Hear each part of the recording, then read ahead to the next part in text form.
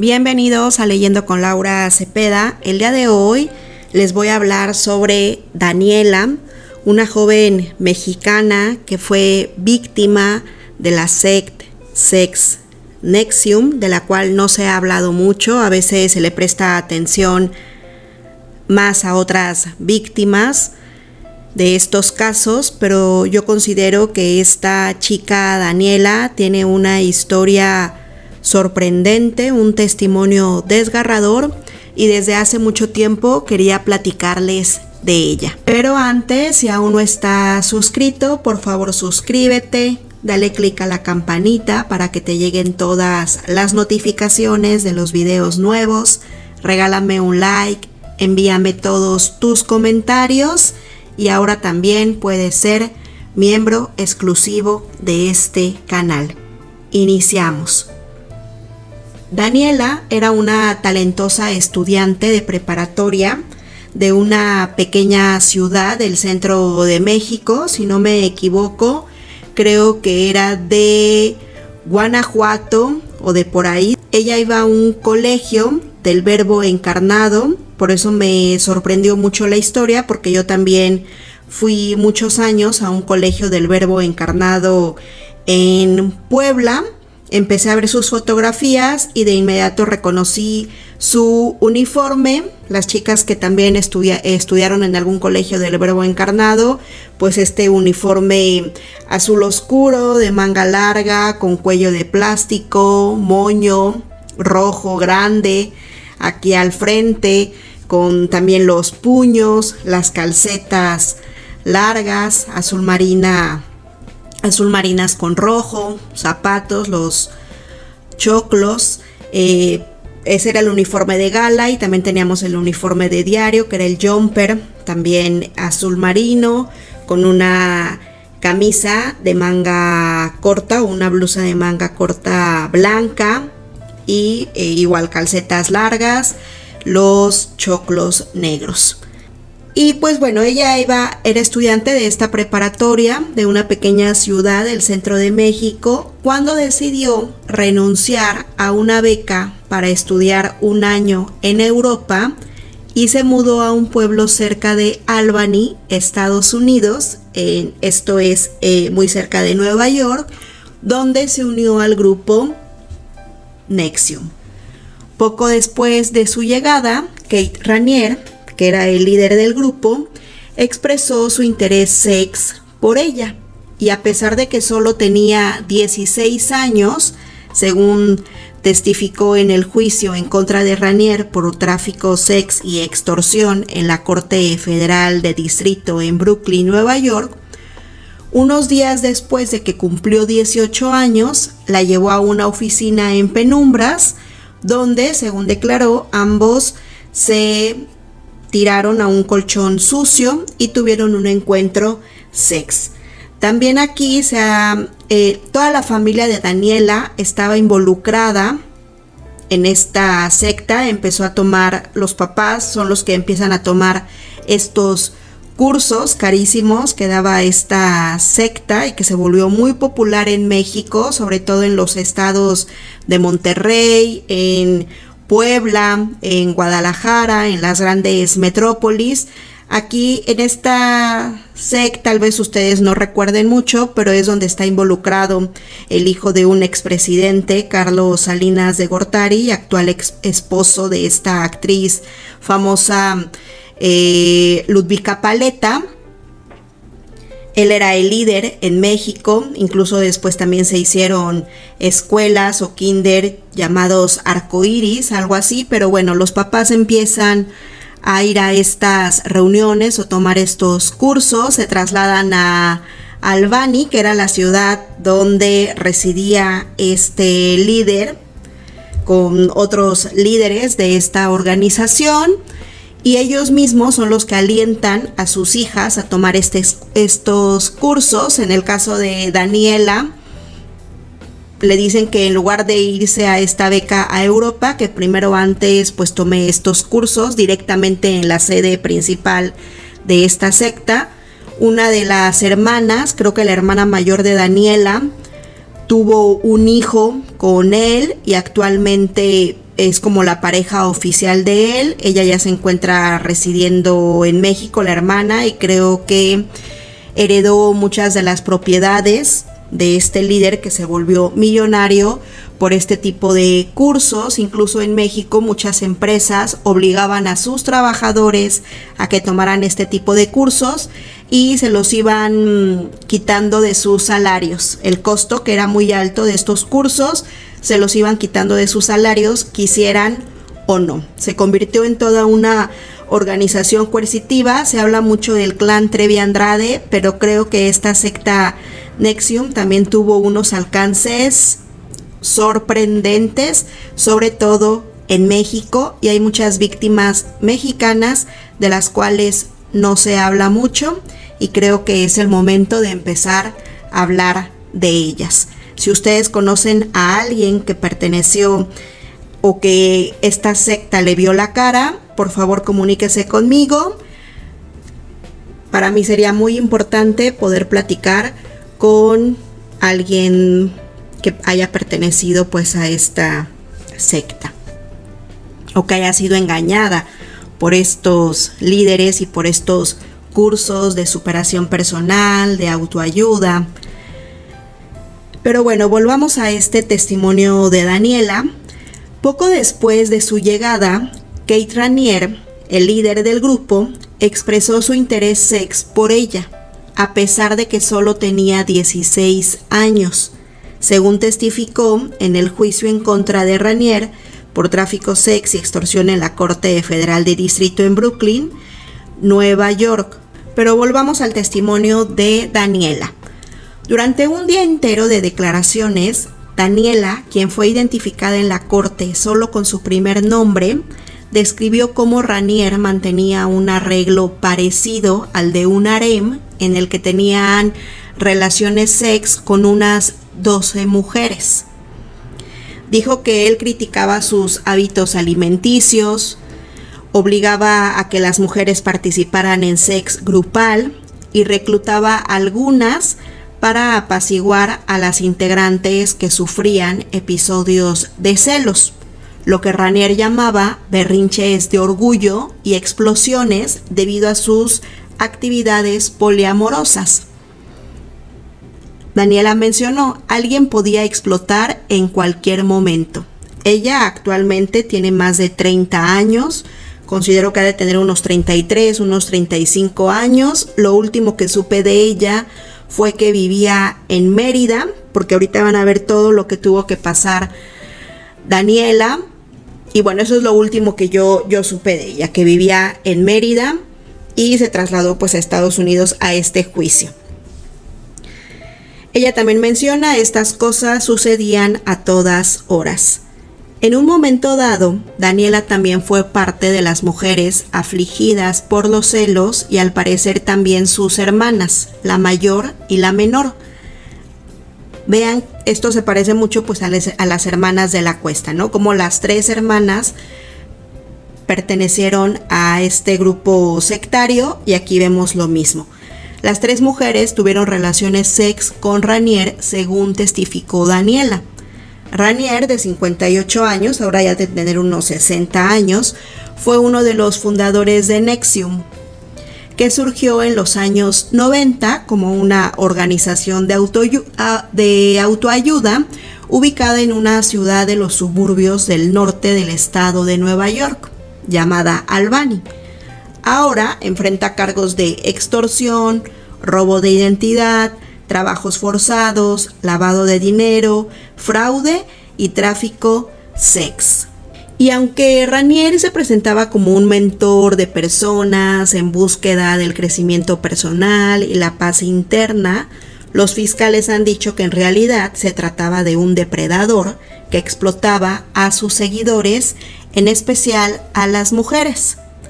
Eh, testigos y exmiembros de Nexium han dicho que Ranier instaba a algunas mujeres a hacer dietas de hambre para que mantuvieran el físico que a él le gustaba y creó una sociedad secreta de mujeres a las que llamaba esclavas, quienes eran marcadas con sus iniciales.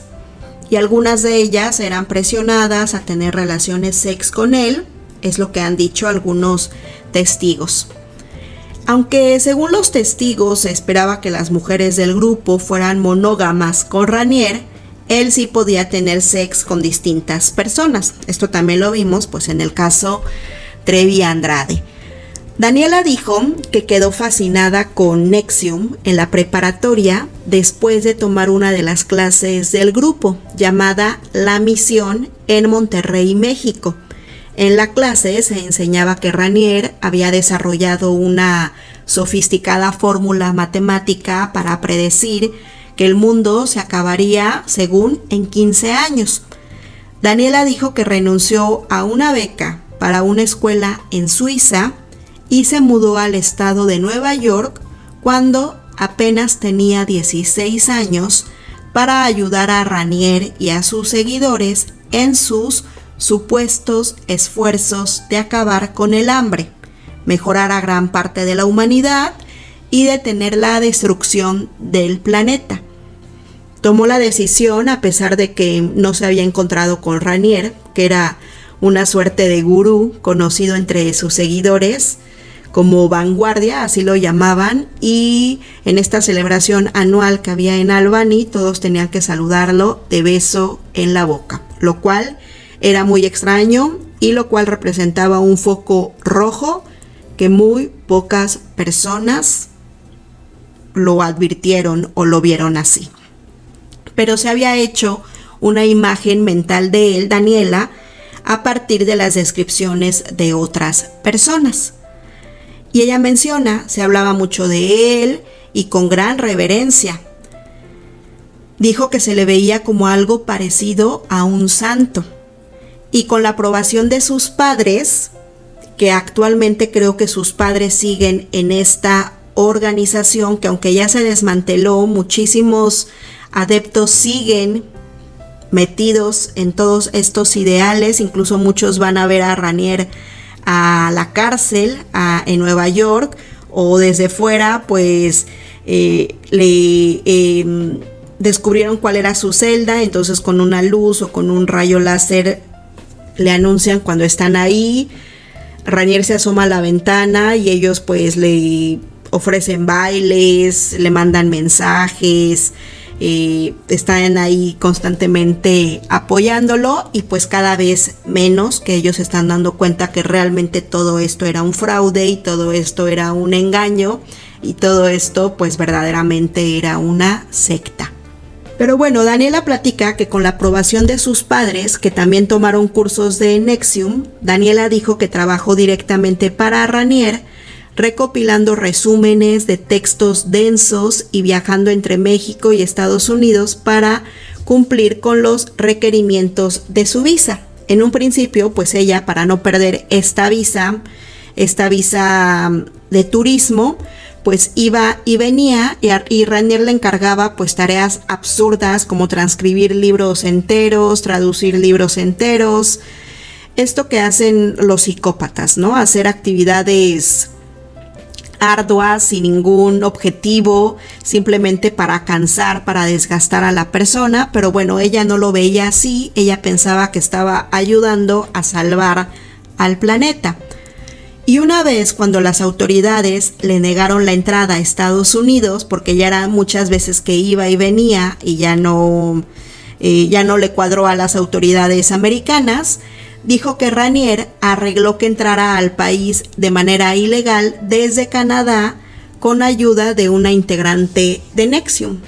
Por lo tanto, cuando ella menos vio, pues ya se encontraba de ilegal en Estados Unidos y ya no podía salir de este país. Daniela dijo que frecuentaba la casa donde Ranier trabajaba y pasaba muchas horas con él observando sus interacciones con otros describió una cruda atmósfera en la que hacía comentarios procaces sobre el cuerpo de las mujeres, se regodeaba con insinuaciones sex y se burlaba de las mujeres que comían demasiado, a veces gruñendo como un cerdo. Contó que una vez Ranier puso un pie como carnada en un refrigerador y montó una cámara de vigilancia para ver quiénes se lo comían. Según el testimonio de Daniela, estar trabajando tenía un doble sentido. Cuando Ranier estaba trabajando, entre comillas, con una mujer, se entendía que estaba teniendo sex con ella, supuestamente para ayudar a su crecimiento personal. Pero Ranier también mandaba a las mujeres que tenían habilidades de pacificación para calmar a sus parejas sex que se ponían celosas, lo mismo que hacía pues Mari Boquitas con las demás chicas cuando ellas querían salirse. Yo veo en el caso de en el caso de Gloria Trevi, Sergio Andrade y Mari Boquitas que Gloria era la que hacía el grooming y las convencía, era el gancho para que ellas se quedaran y les decía que era wow, este, una suerte que Andrade se, se, hubiera fijado en ellas. Y después, cuando ellas ya se querían salir, la que iba a consolarlas o la que tenía como esta actitud más pacífica y de, de convencimiento era Mari Boquitas, que es lo que también sucedía en este grupo. Eh, según Daniela, con frecuencia recurrían a Pam Cafritz, su acompañante de mucho tiempo, y la llamaba la desactivadora de bombas que neutralizaba a, los, a las demás. Esta chica Pam, eh, si no me equivoco, junto con su hermana, eran multimillonarias, habían heredado una fortuna multimillonaria porque su papá era el creador de un ron o de un licor, de un, de un brandy, algo así, de una marca famosísima en todo el mundo y pues toda su herencia se la dieron a Ranier y la ocuparon para que esta organización creciera. Incluso ellas le pagaron al Dalai Lama para que viniera a Estados Unidos y tuviera un encuentro con Ranier y pues esto servía para que toda la gente viera miren, él es una persona muy importante y es reconocido incluso por un Dalai Lama que también pues hay una historia detrás del Dalai Lama que después trataremos. ¿Se acuerdan esta imagen o estos videos donde pues le da besos a niños o hace comentarios eh, grotescos y pues nada que ver con esta figura santa que teníamos todos del Dalai Lama. Pero bueno, volvamos al testimonio de Daniela Daniela dijo que le hacía sex oral regularmente a Ranier, algunas veces más de una vez al día. Según ella, a menudo eso sucedía mientras estaba sentado en una silla frente a un monitor conectado a una cámara de seguridad desde donde podía ver si alguien se acercaba a la casa.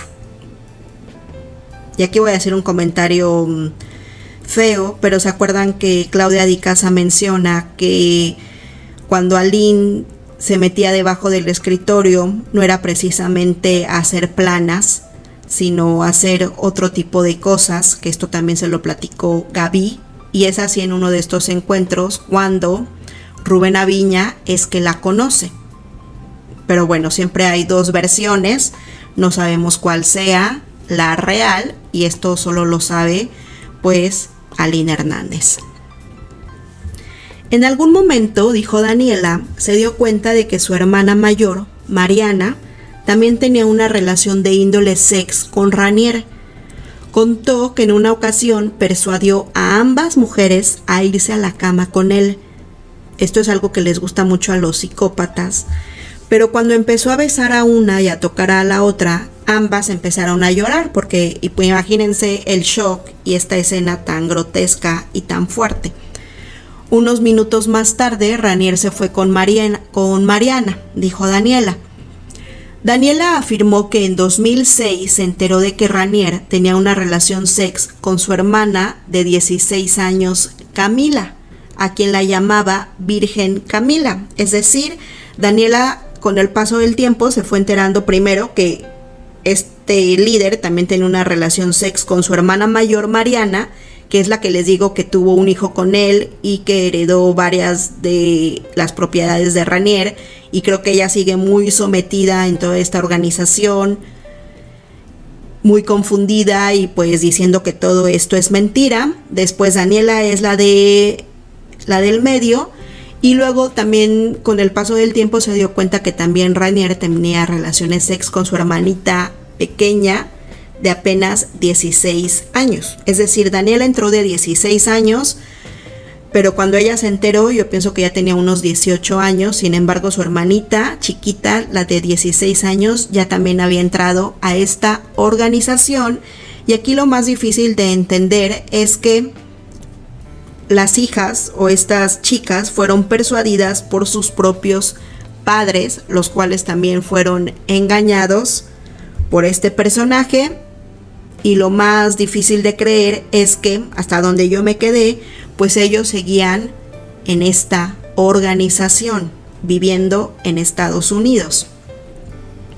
Dijo que le preguntó a Ranier si estaba teniendo sex con Camila pero también dijo que aunque estaba preocupada por su hermana, sentía algo de celos porque el líder no tuvo sex con ella hasta que cumplió 18 años. Empiezan pues estas confusiones, estos pensamientos. En el caso de, Daniela, pues sintió algo raro porque con su hermanita sí empezó a tener relaciones sex desde los 16 años y con ella a partir de los 18 años. Pero es por lo mismo por todos estos pensamientos confusos que le habían metido en su cabeza, este lavado de cerebro o este grooming que ella tenía este tipo de pensamientos.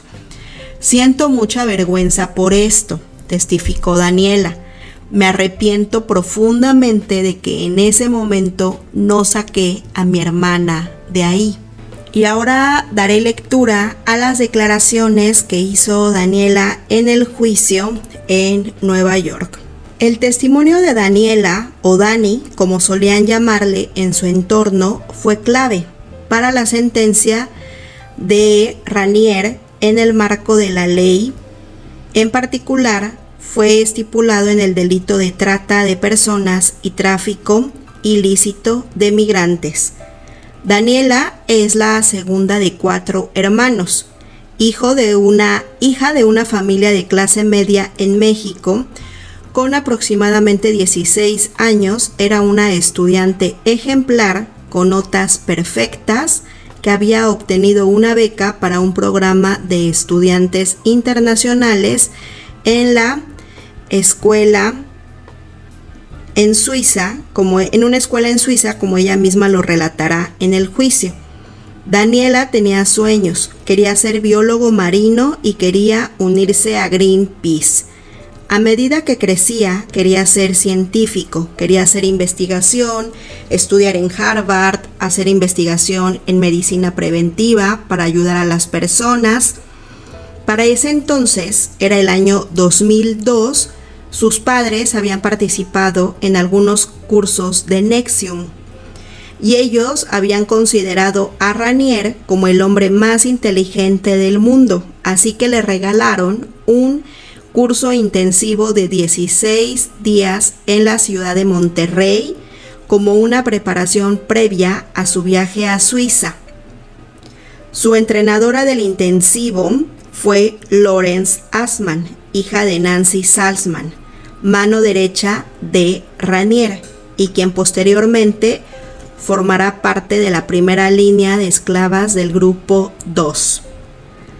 Daniela quedó impactada con el curso y con un módulo en particular, la misión, así se llamaba este curso, como ella misma relata. Usa una pizarra con un marcador y dibuja el mundo como un gran círculo procede a describir cómo todos los esfuerzos que los humanos están haciendo para mejorar el mundo son inútiles, esencialmente todos mis sueños eran tratar de salvar a las ballenas con Greenpeace, tratar de curar el cáncer, tratar de acabar con el hambre en el mundo, tratar de lograr la paz en el mundo. Me mostraron que todos estos esfuerzos son inútiles, son inútiles. No podíamos ayudar al mundo de esa manera porque simplemente seguíamos recreando todos estos problemas mientras estuviésemos desintegrados.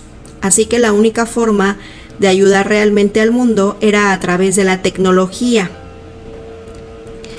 y a través de Ranier, que era el hombre más inteligente del mundo. Él había ideado un cálculo matemático para el estado del mundo y en este cálculo era que el ritmo, al ritmo al que íbamos, que si no cambiábamos el rumbo y realmente impulsábamos la misión para que más personas se integrasen y se controlara más la riqueza del mundo, el mundo se acabaría en 10 o 15 años. Yo quería convertirme en científico y hacer todas estas cosas para ayudar a salvar el mundo y esta clase me demostró que cualquier cosa que yo intentara hacer no iba a ser tan impactante como lo que ellos estaban haciendo realmente. Ellos realmente tenían el potencial de cambiar el mundo y estábamos contra reloj. Y el mundo y el módulo, la misión, cambió las siguientes decisiones que tomé en mi vida que afectaron todo lo demás. Seguí tomando el curso intensivo y a medida que avanzaban las clases había un cierto grado de atención en mí que fue muy halagador. Al final del intensivo estaba conversando con Loren y dijo, tenemos una vacante, ¿por qué no vienes con nosotros? Podrías ayudar a la misión, ven a trabajar con nosotros. Me sentí increíblemente halagada, pero también muy sorprendida. Así de, gracias, pero ¿qué crees que yo pueda hacer para ayudar? Quiero decir, no sé nada. Y aquí, bueno, el fiscal le pregunta, ¿y alguien te explicó lo que ellos pensaban que podrías hacer para ayudar? Y ella responde, más que explicar, buscaban habilidades en mí que pudieran encajar con algo que ellos estaban haciendo y efectivamente concluyeron que sería que yo iría perfeccionando la programación en computación, yo recién comenzaba a programar en mi primer año de secundaria y ellos dijeron que yo era tan inteligente que me enseñarían y que luego yo podría trabajar con, con ellos en Albany. Y Daniela vivió por un tiempo en la casa de Loreta Garza, miembro de esta pues de este grupo quien se dedicó a realizar trabajo administrativo básico, ingresando datos y también hizo otras actividades como limpiar y organizar cosas. No le pagaron por su trabajo en ese momento, pero entendió que le pagarían posteriormente unos meses después. Daniela relata que alrededor del año 2003 tuvo el coraje o la valentía de acercarse a, a él, a Ranier, estaba decepcionada con el trabajo que estaba haciendo, no era lo que yo esperaba, estaba muy desilusionada y también me sentí muy preocupada por el hecho de que no había podido hacer ningún trabajo significativo o ayudar de una manera importante y sentí que no tenía sentido estar allí y quería volver a la escuela porque durante esos años ella se salió de la escuela, dejó de estudiar y se fue a vivir con ellos sin hacer realmente pues nada. Ella quería volver a su camino, así que se acercó a él para pedirle que le diera su opinión. Ranier fue muy atento, me hizo una serie de preguntas tipo ¿cuál crees que es tu propósito? ¿Qué quieres hacer? En la misión, en, la misión, en el curso de la misión has escrito tu declaración de misión, qué te gusta hacer, qué, qué hiciste antes, cuáles eran tus planes. Y ella le habló de lo que era y ese centro de manera, él se centró de manera muy eficaz en sus intereses académicos. Eso era lo que yo quería y me dijo, bueno, ¿qué, ¿cuál es tu nivel tan alto en matemáticas? Llegó y escribió algunas ecuaciones en la pizarra, una ecuación cuadrática y algo de cálculo. Ella no tomó cálculo en la escuela secundaria, como ella piensa que él estaba midiendo su nivel de educación y fue muy alentador que fuera preciso al respecto y luego me dijo, ¿te gustan las cosas intelectuales y académicas, verdad? Y me dio un acertijo. Fue simple, le di la respuesta de inmediato y pensé que estaba muy complacido con la conversación que teníamos. Continuó y me dijo que deberíamos de hablar más. Y me dijo otro acertijo que fue más difícil. Y me dijo, cuando lo resuelvas, me avisas. Nos despedimos y corrí a un salón quería solucionarlo, quería impresionarlo, quería eh, que él viera que lo inteligente que yo era. Entonces entré en una de las habitaciones en la parte de atrás y pensé mucho y lo resolví. Creo que fue cuestión de minutos. Lo intercepté antes de que se fuera y le di la respuesta. Estaba sorprendido. Yo estaba muy feliz conmigo misma y él sonrió, me dio su información de contacto. Daniela estaba preocupada porque su hermana mayor, Mariana, en México, parecía estar deprimida y sin rumbo, así que le sugirió venir a Albany y tomar clases en Nexium. No pasó mucho tiempo cuando Mariana fue acogida por este grupo. Entonces consideraba la pareja oficial de Raniel. Finalmente Mariana se mudó a Nueva York y los tres en la residencia oficial de Ranier, en la que vivía con varias parejas, y a partir de ahora Mariana, después un poco después sus padres se vendrían a vivir a Albany con sus hermanos menores, Adrián de 15 años y Camila de 13 años. Mariana continuó viviendo con Ranier. La comunicación entre Daniela y Ranier se hizo más frecuente a través de correo electrónico. Para ese momento ya Daniela tendría 17 años. Los padres y Daniela comenzaron a tener problemas en su relación.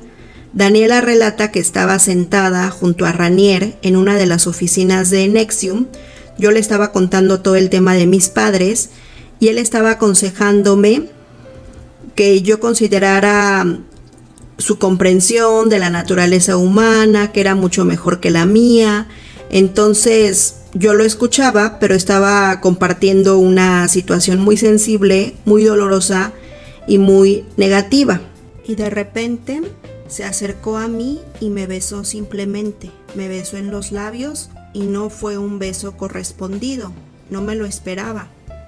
Estaba hablando del divorcio de mis padres, entonces solo me quedé congelada.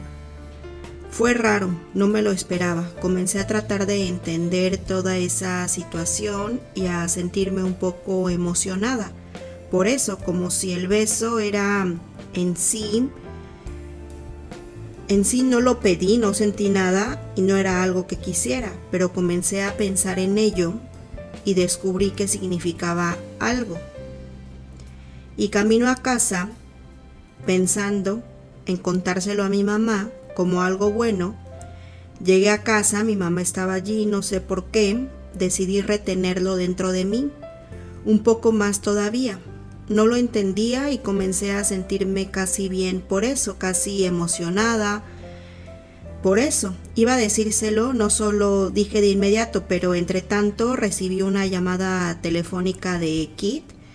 ¿Cómo estás? Creo que es mejor si no le cuentas a nadie lo que pasó nuestro, de nuestro beso, creo que es mejor entre nosotros y estuve de acuerdo y cumplí. A partir de ese momento las comunicaciones entre ellos se tornaron más íntimas. Ahora que sabía que yo le gustaba, comenzamos a coquetear. Yo era muy tímida. Me gustó mucho alentar, no era algo natural para mí, fue incómodo. Las preguntas se volvieron cada vez más sex y comenzamos a hablar de que no podíamos tener sex porque yo era demasiado joven. Hablamos de sex pero en negativo, es decir, que no podíamos hacerlo, lo cual entendí perfectamente y me dejó entrar en su vida sex. En estas declaraciones Daniela también menciona una conversación con Ranier un poco antes de su cumpleaños número 18. Estábamos jugando voleibol y después de toda esa conversación sobre que no podíamos tener sex, era demasiado joven, me dice, tu cumpleaños se acerca, ¿qué quieres para tu cumpleaños? En mi mente estaba claro cuál debería ser la respuesta. Debería ser querer tener sex, pero era demasiado tímida para siquiera decir eso y no pude decirlo y no lo dije. Y notó que yo era extremadamente tímida y dijo, bueno, sí, eres demasiado tímida para decirlo. Bueno, si eres demasiado tímida para decirlo, ¿por qué no lo escribes en la palma de mi mano? y fue más fácil que decirlo, así que escribí en su mano la palabra sex. Ranier le dejó bien claro sus condiciones o sus ideales para tener relaciones sex. Me dijo que yo necesitaba bajar de peso para que compartiera su energía sex, pues él era muy sensible a eso por ser quien es.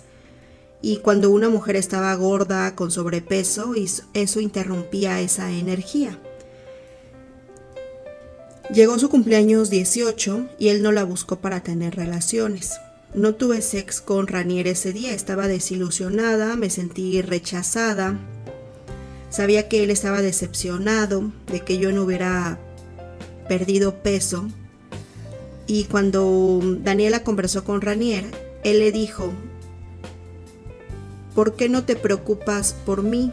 ¿No te importa lo suficiente? ¿Te preocupas más por la comida que por estar conmigo? Y me sentí mal. No lo vi en mi cumpleaños y no lo vi en los días siguientes. Me sentí rechazada durante esos pocos días que cumplí 18 y no pasó nada. Pero luego me llamó y llegó el momento, aproximadamente una semana después de su cumpleaños 18, Ranier la llevó a un edificio de oficinas abandonadas de su propiedad y dentro de esa oficina había una habitación más pequeña. Esta habitación tenía poca luz, no podía ver muy bien, había montones de cajas, montones de cosas y en el suelo una alfombra vieja y un colchón sucio. Tenía sábanas gastadas y raídas. Me pidió que me quitara la ropa y me acostara y lo hice. No habló, él no se quitó la ropa y comenzó a hacerme sex oral. No sé cuánto tiempo estaba, un poco. Y luego se quitó la ropa y se subió un rato encima de mí y me dio un abrazo, como un abrazo largo. Y luego solo me besó, se levantó, me ayudó a levantarme y a vestirme. Y regresamos a su local o a sus oficinas. Después Ranier llamó a, Daniela. Él me preguntó cómo estaba y cómo me sentía al respecto. Y una cosa notable que dijo fue, eres una persona responsable, ¿cómo es que no me pediste que usara protección? Y se produjo la confusión porque no podía entender por qué me estaba pidiendo que usara protección si no sentía que me hubiera no pensé que lo necesitáramos. Entendí que me estaba diciendo que me pen y que perdí mi virgi, pero yo no sentí eso. Continuamos debatiendo ese punto y aquí el fiscal le preguntaba a Daniela. Después ella dijo que le daría luego explicaciones, tuvo después una conversación sobre por qué hubo esta desconexión y Daniela respondió que unos días después estábamos de paseo y hablábamos de esto. Me preguntó en una conversación del tipo exploración de significado, ¿por qué crees que no sentiste nada claramente? Él tenía razón y yo necesitaba averiguar por qué no lo sentí. Él estaba como haciendo esta exploración conmigo y al final las preguntas.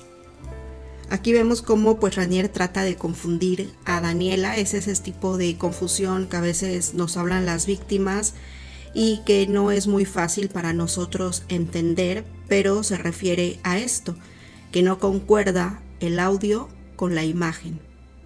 Lo que ellos nos están diciendo con lo que realmente pasó y aquí pues siempre tenemos que hacerle caso a nuestro instinto, a nuestros instintos, a nuestra percepción y nunca dudar de lo que nosotros vimos o sentimos.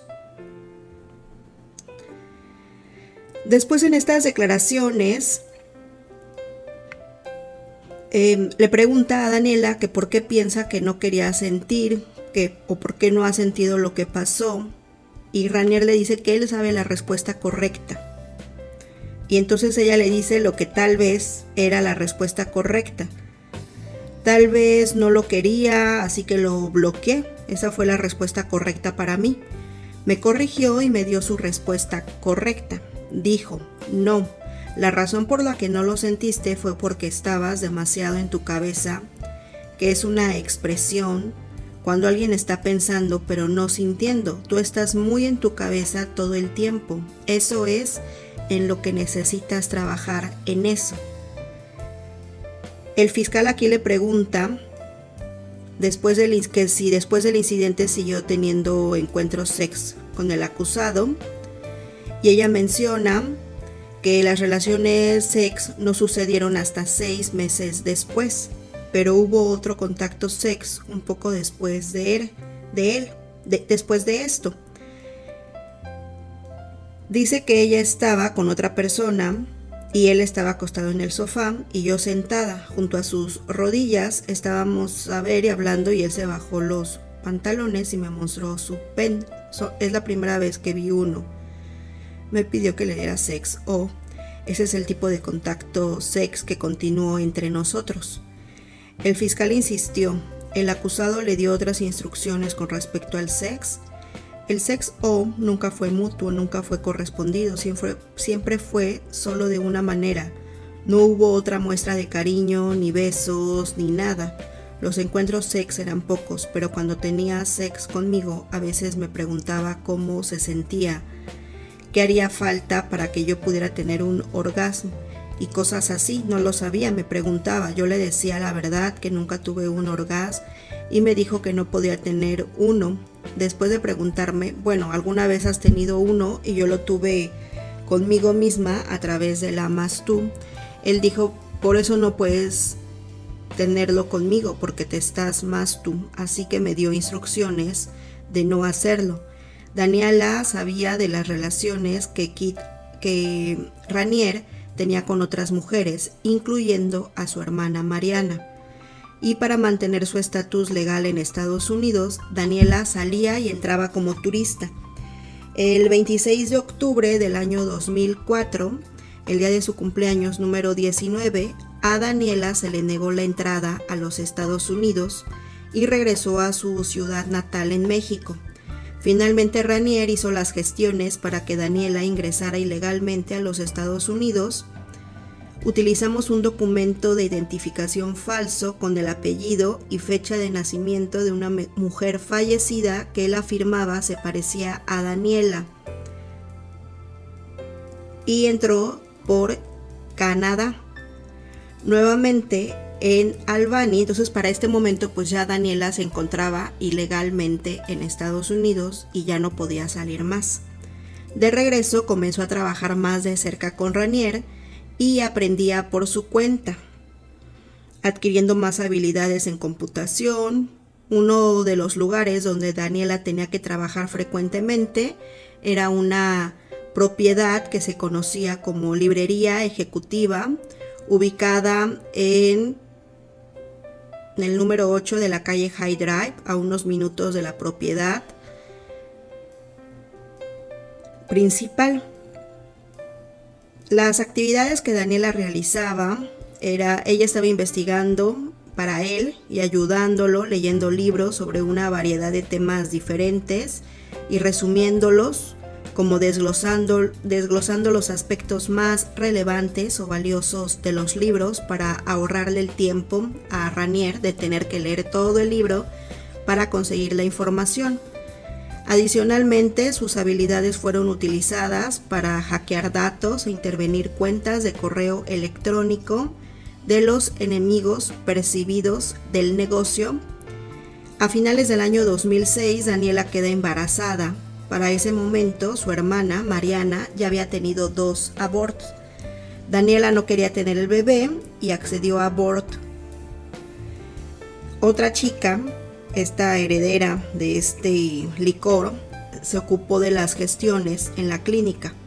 El fiscal le preguntó una vez qué ocurrió, qué ocurrió después del aborto.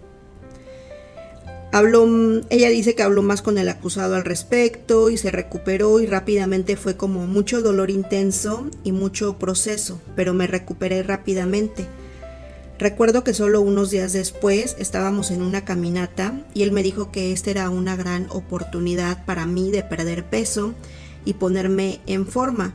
Le dije, ¿a qué te refieres? Y dijo que cuando una mujer queda embarazada, sus hormonas y su metabolismo cambia y es más fácil perder peso y ponerse en forma. Dijo que de hecho hay atletas olímpicas que quedan embarazadas a propósito, solo para aborto, como parte de su entrenamiento. Y poco tiempo después, Daniela comenzaría a sentirse atraída por un estudiante y trabajador de Nexium. Daniela describe su encuentro con Bent, con este chico, del cual se enamoró tiempo después. Nunca antes me había sentido atraída por él, realmente era una relación amistosa, como cualquier otra persona en estos cursos. Y una noche éramos los únicos allí y, estábamos hablando uno al lado del otro y casi nos besamos. Sentía algo y creo que él sintió algo por mí y surgió un nuevo sentimiento de atracción que para mí era totalmente novedoso. Esto es lo que puedo decir y fue un momento muy intenso, fue una noche intensa, no pasó nada, ni siquiera nos besamos, pero fue muy cercano, así que se acumuló una tensión y eso fue lo que pasó. Esa noche el fiscal le pregunta a Daniela, después de esa primera noche, ¿le contaste a alguien sobre este sentimiento que experimentaste? Y Daniela menciona que se lo dijo a Ranier. Luego le pregunta el fiscal de por qué se lo dijo al acusado y Daniela responde, supongo que con toda mi inocencia. Él era mi mejor amigo, creo que eso es todo, no tenía nadie más a quien contárselo. Nunca se me pasó por la cabeza ocultarlo. Fue este nuevo descubrimiento que pensé que había hecho durante tanto tiempo, pensé que era una especie de Asex. Obviamente, le estaba haciendo cosas aquí y estaba haciendo cosas con Kit Ranier, pero eso nunca lo había sentido antes. Fue como este hermoso descubrimiento en mí y se trataba de mí, así que solo estaba allí para decirle que esto había sucedido y así es como me sentí más como un amigo, una amiga para compartirlo. Pero eh, pues yo creo aquí que fue una decisión incorrecta, pero en el momento pues te aíslan tanto que son a las únicas personas a las que puedes recurrir, porque ahorita más adelante nos va a platicar cómo era la relación con su familia, que ellos ya estaban viviendo allá en Estados Unidos, en Albany, porque a partir de que Daniela le cuenta esto a Ranier, vamos a ver qué fue lo que sucedió, desató la furia de este señor. Nunca hay que desatar la furia de los psicópatas, porque son muy vengativos y porque pues como psicópatas actúan como tal. Y vamos a ver qué es lo que sucedió.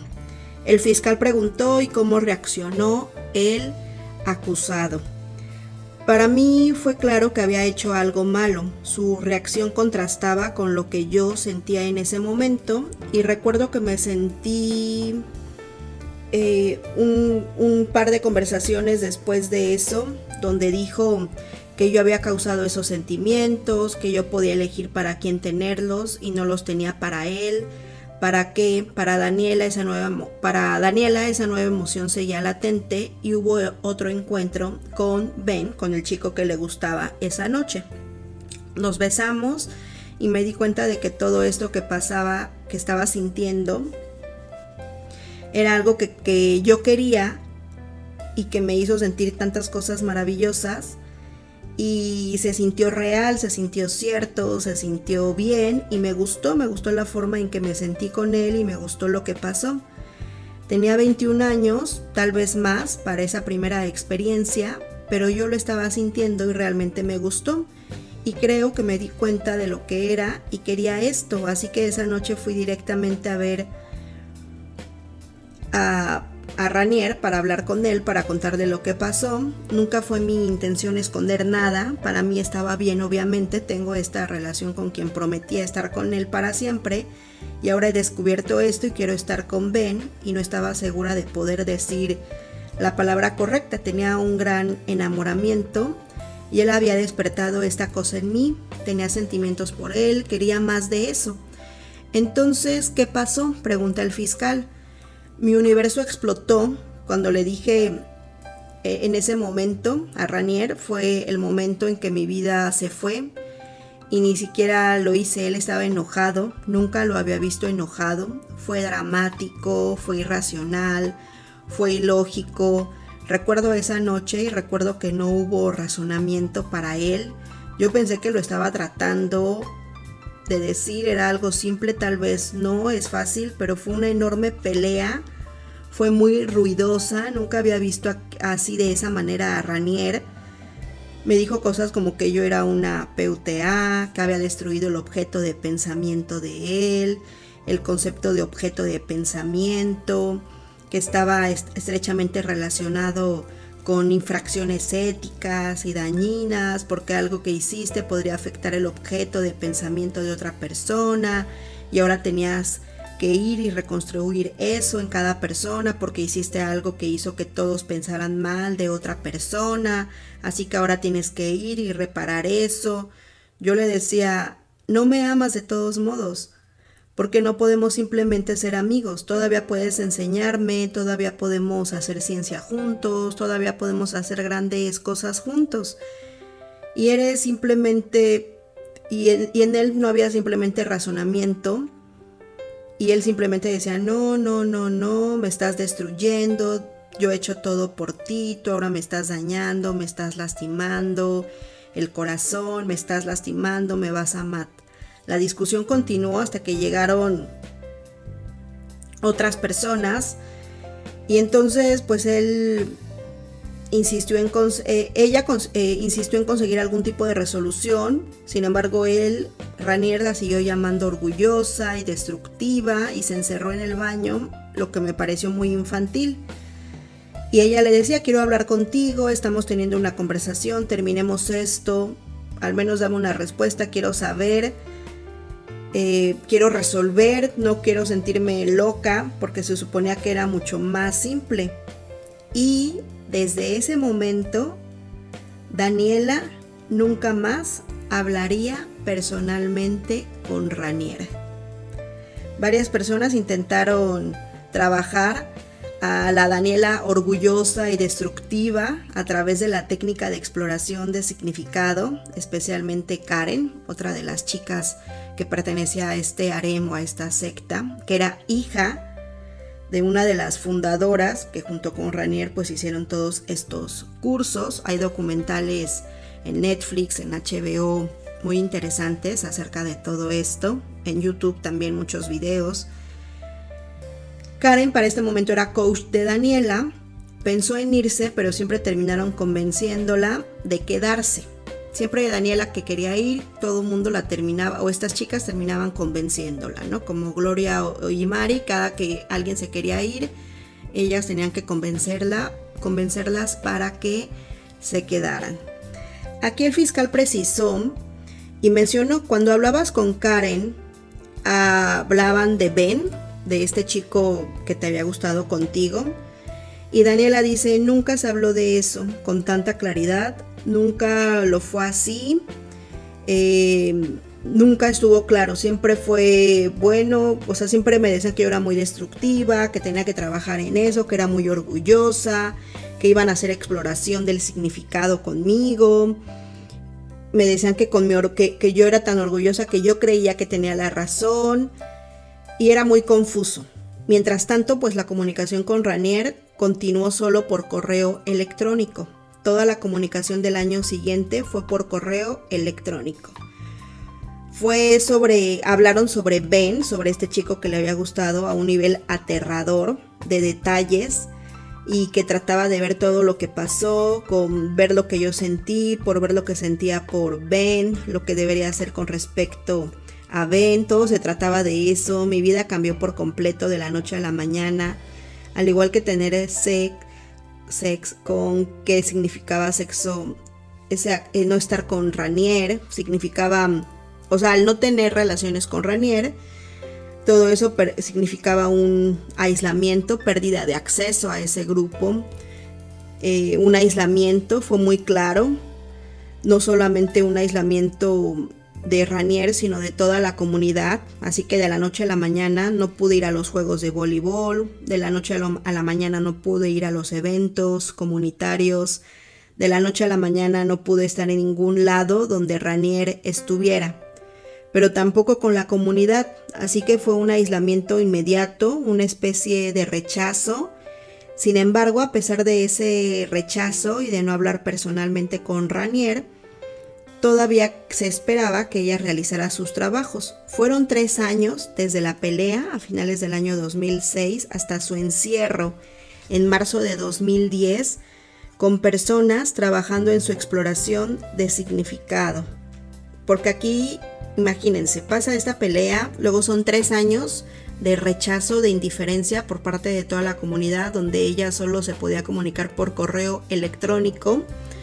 Acordémonos que la indiferencia es el sentimiento más cruel o lo peor que se le puede hacer a una persona. Y si pensamos que esto era lo peor, no lo es. Ahorita viene, les voy a platicar y bueno, aquí Daniela nos va a platicar en sus declaraciones que fue porque viene lo realmente aterrador. Todos nosotros, a lo mejor en un estado normal, consciente, diríamos, vete, ¿por qué no te fuiste? ¿Por qué no huiste? ¿No? Lo mismo le decimos a las víctimas de Sergio Andrade. Pero al parecer es muy difícil de explicar.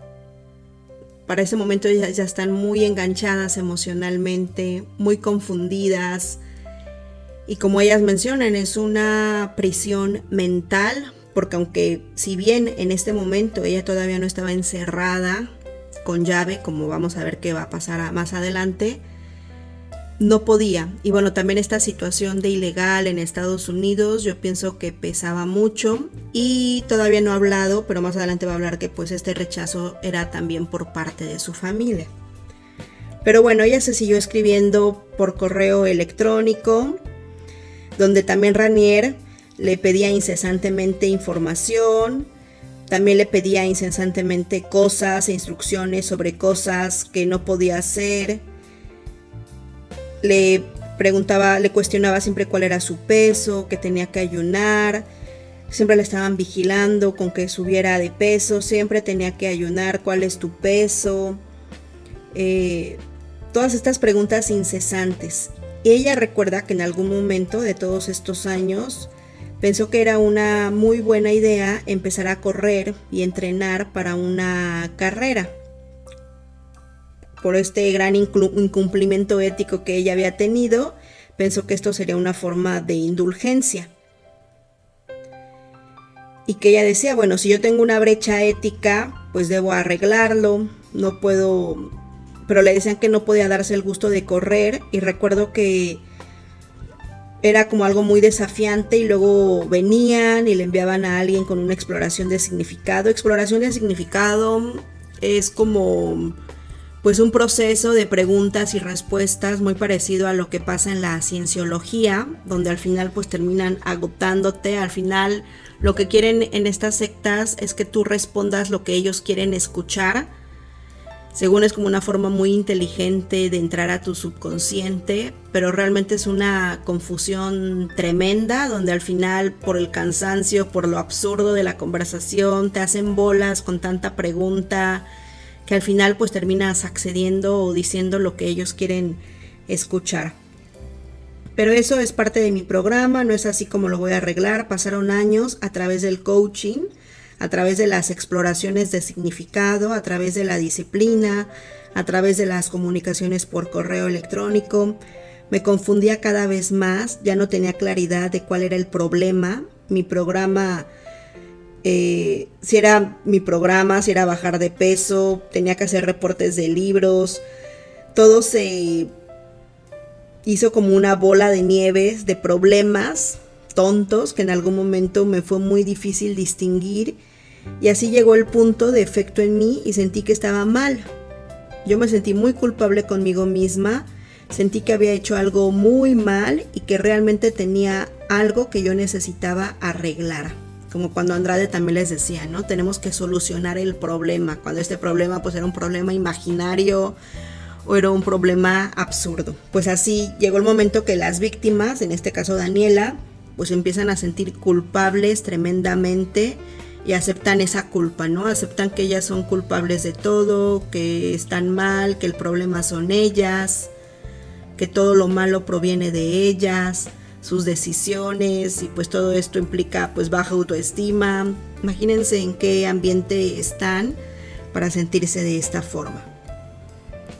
Fue un último intercambio de mensajes por correo electrónico con Ranier cuando escaló el control sobre Daniela el primero de marzo de 2009. Daniela le envió un mensaje de correo electrónico, un mensaje largo a Ranier, el cual Ranier responde de acuerdo a cada idea para facilitar al oyente la dinámica del intercambio.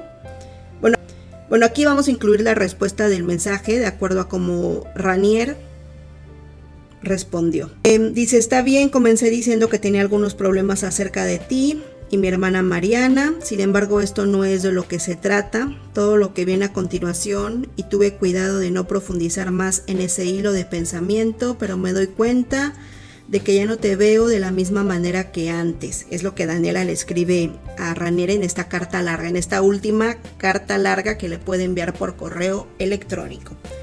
No creo que hayas cambiado y si los has hecho no lo sabría. Yo he cambiado las cosas que quiero o creo que quiero. ¿Cuál es la diferencia en realidad? No son las mismas. Me inclino a pensar que puedo ver las cosas con más claridad una vez que he estado en el interior de una vida contigo y que ahora observo desde el exterior. Sin embargo, todavía no puedo evitar pensar que tal vez estoy fuera de contacto. Y pues Ranier le responde a esta idea, si estás fuera de contacto realmente, nunca has estado en el interior debido a las otras cosas y tu orgullo del momento. Por cierto, la vida podría haber sido tan maravillosa si solo te hubiera importado. Estás muy equivocada acerca de cómo habrían sido las cosas realmente. Tenemos más en común que simplemente ser intelectuales. La apatía es la peor de la ética de la vida. Se dice que los apáticos deberían ser condenados al nivel más bajo del infierno. La clave es que para que puedas hacer esto bien y estar bien dentro de ti misma necesitas restaurar e incluso intensificar tus sentimientos hacia y sobre mí.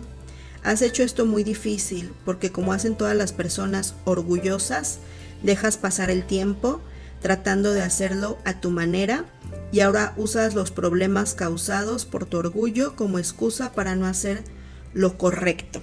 Y bueno, que te lo diga esto, recuerden que ellas pensaban que era la persona más inteligente del universo, Kit Ranier. Esto también fortalecerá tu orgullo. Por eso las personas con conciencia profunda llegan al extremo de la incomodidad para reparar una brecha ética. No están ahí simplemente escuchando el mismo mal consejo de orgullo que los llevó a la brecha. En primer lugar, la carta de Daniela continúa con la siguiente idea. O sea, Daniela le responde, últimamente he estado pensando cada vez más en crear una vida para mí, una que no requiera tu presencia. Creo que esto proviene de la idea de que hasta ahora he puesto todas mis canicas en una vida futura contigo, lo cual no solo es, no estoy segura, sino que de hecho no sucederá y sé que no soy nada por mí misma sin la posibilidad de un futuro como ese contigo. El significado de mi vida no es nada especial ante el planteamiento de Daniela de querer hacer una vida sin Ranier. Él responde. O sea, vean cómo las chicas o Daniela llega a pensar que no es nada sin él. Que para que ella sea una persona exitosa o tenga un futuro es con él. Si no, no, no es nada. Y esto es lo que pues muchas veces los agresores nos hacen pensar. Y ella le eh, él le responde, Raniera, es una salida fácil, es una eh, excusa creada por el orgullo. Son muy necios, ¿no? Los psicópatas. Debes rechazar este pensamiento. No sé si se acuerdan la pelea o la discusión que tuvo Arat de la Torre con Adrián. Era una discusión tan absurda y Adrián Marcelo se puso tan necio y yo nada eh, decía puras estupideces y no tenía no había lógica en ese razonamiento, en esa discusión y Arat le seguía, también yo decía, ¿por qué Arat le sigue si está diciendo pura tontería Adrián? Y Adrián al ser también pues un narcisista, no sé si un psicópata, pues nunca va a parar, o sea, él siempre va a tener porque es azul, porque es verde, porque es rojo. O sea, tú nunca vas a poder con una persona así. Lo mejor es parar y ignorarlas, ser indiferente con este tipo de personas porque nunca les vas a ganar. Y bueno, Ranier le dice, este es el mayor error de tu vida. Después la carta de Daniela continúa. Daniela le dice, me siento muy atrapada, o sea, vemos a una Daniela muy confundida, me siento muy atrapada, acorralada por la forma en que están las cosas, ahora me gustaría poder al menos sostenerme, pagar el alquiler, pagar mi comida, pagar mi salud, etc. Pero con las restricciones que se me imponen no puedo trabajar en nada, en nada más no puedo ganar dinero a menos que haya haga informes de libros, me siento desesperada, la mayor parte del tiempo sé que potencialmente podría tomar esta curva como una fuerza, es la única salida, también lo hacen los malditos informes, pero de una manera más realista. Durante tres años creemos o eh, estuvimos creyendo que necesito ser capaz de ponerme en marcha, equilibrar un lado mientras equilibro el otro, y aquí Raniera acota en este punto. Porque aparte de toda esta confusión, aparte de ser abusadas sex, emocionalmente, pues también son explotadas laboralmente, ¿no? Daniela para este punto ya no había podido estudiar la universidad, había dejado los estudios, como también muchas chicas. Yo pienso que aquí la única que se pudo graduar de la universidad fue Carla de la Cuesta, en el caso de esta secta de Andrade. En el caso de Daniela, una persona tan inteligente que tenía ya una beca en Suiza, la perdió y también ya no continuó con sus estudios. Ella entró de 16 años, para este momento ya tiene 21 años y pues ya dejó de estudiar. Le dedicó toda una vida o todos estos años importantes de formación pues a este psicópata, a Ranier, y sin cobrar ni un quinto, ¿no? Ranier le daba hospedaje, le daban alimentación, también súper, no crean que lujos, igual, súper, este, pues algo súper básico. Y es lo que le reclama a ella, ya quiero tener otra vida, quiero ganar dinero, quiero pagar yo poder, ya no me, ya no me des este asilo, ya no me des alojamiento, quiero pagar yo mi alojamiento y mi alquiler, mi comida, trabajar, ganar dinero. Y bueno, para este punto pues ya nos imaginaremos cómo está Ranier. Y aquí acota en este punto. Le dice perezosa sin, perezosa sin causa, orgullosa. Te sientes atrapada y has creado muchos efectos realmente malos. La conciencia se siente intensamente concentrada y condenada. Empezar a hacerlo es lo que ha llevado más de dos años. El orgullo enfermizo de hacerlo a tu manera en resolver la brecha ética. Esto debe ser destruido. La evidente desesperación. Y bueno, aquí vemos la evidente desesperación y emocional de Daniela. Se hace más intensa en la carta. Al final ya de esta carta que ya se torna suplicante. Y ella le dice, todo lo que me ha motivado de alguna manera me ha sido quitado. Y si lo he permitido, ese es el punto aquí. Y no lo sé. Sé con certeza la cantidad de veces que me siento motivada para hacer las cosas, porque son correctas. Es increíblemente pequeño en comparación. Debe mm, haber una mejor manera de trabajar en eso y creo que sería primero poder hacer algo, cualquier cosa. Luego tal vez pueda trabajar en mis razones. Y pues aquí Raniel le responde categóricamente a este planteamiento. Tus sentimientos por mí deberían haber sido la motivación, el dolor inicial. En cambio, usaste tu orgullo para sentirte cómoda. Como expliqué, la motivación proviene del malestar. Necesitas no poder vivir sin mí para hacer esto de la mejor manera. Tu apatía y tu comodidad son espantosas. Lo he dicho muchas veces. Necesitas reconstruir tus sentimientos de dolor extremo por mí tu pérdida de reflexión tras reflexión. Y bueno, la carta de Daniela continúa en forma de una petición cada vez más desesperada y ella le dice, sencillamente no quiero seguir haciendo esto, soy un niño, no pago por mi propia existencia y no sé hacer nada. Mi vida tal como es ahora no tiene ningún valor y parece que no puedo motivarme con las herramientas que me dan aquí. El caso es que me doy cuenta de que depende de mí, Elijo estar en esta posición, mi vida, en este país donde debido a mi estatus, mi capacidad y mi elección de trabajo es decisión de otras personas. Siento que estoy atrapada en un ciclo imposible. Y pues Ranier le contesta que que está demasiado cómoda, pero que el dolor debe provenir de sentimientos. Por mí, de lo contrario, seguirá siendo una estafadora. Y pues Daniela le dice que ella quiere ir a la escuela, que quiere aprender a plasmar sus ideas en cosas reales que pueda usar. Quiero hacer algo con mi vida, quiero trabajar, quiero ganar dinero, quiero ser autosuficiente. Y pues aquí Ranier le cuestiona irónicamente este planteamiento y le dice que qué es lo que quiere hacer, correr y saltar en los campos y en las flores. Le responde pues irónicamente, burlonamente. Acuérdense que también el sarcasmo es violencia. Y Daniela continúa con su carta. Eh, todo, no estoy segura, pero creo que es una forma de orgullo.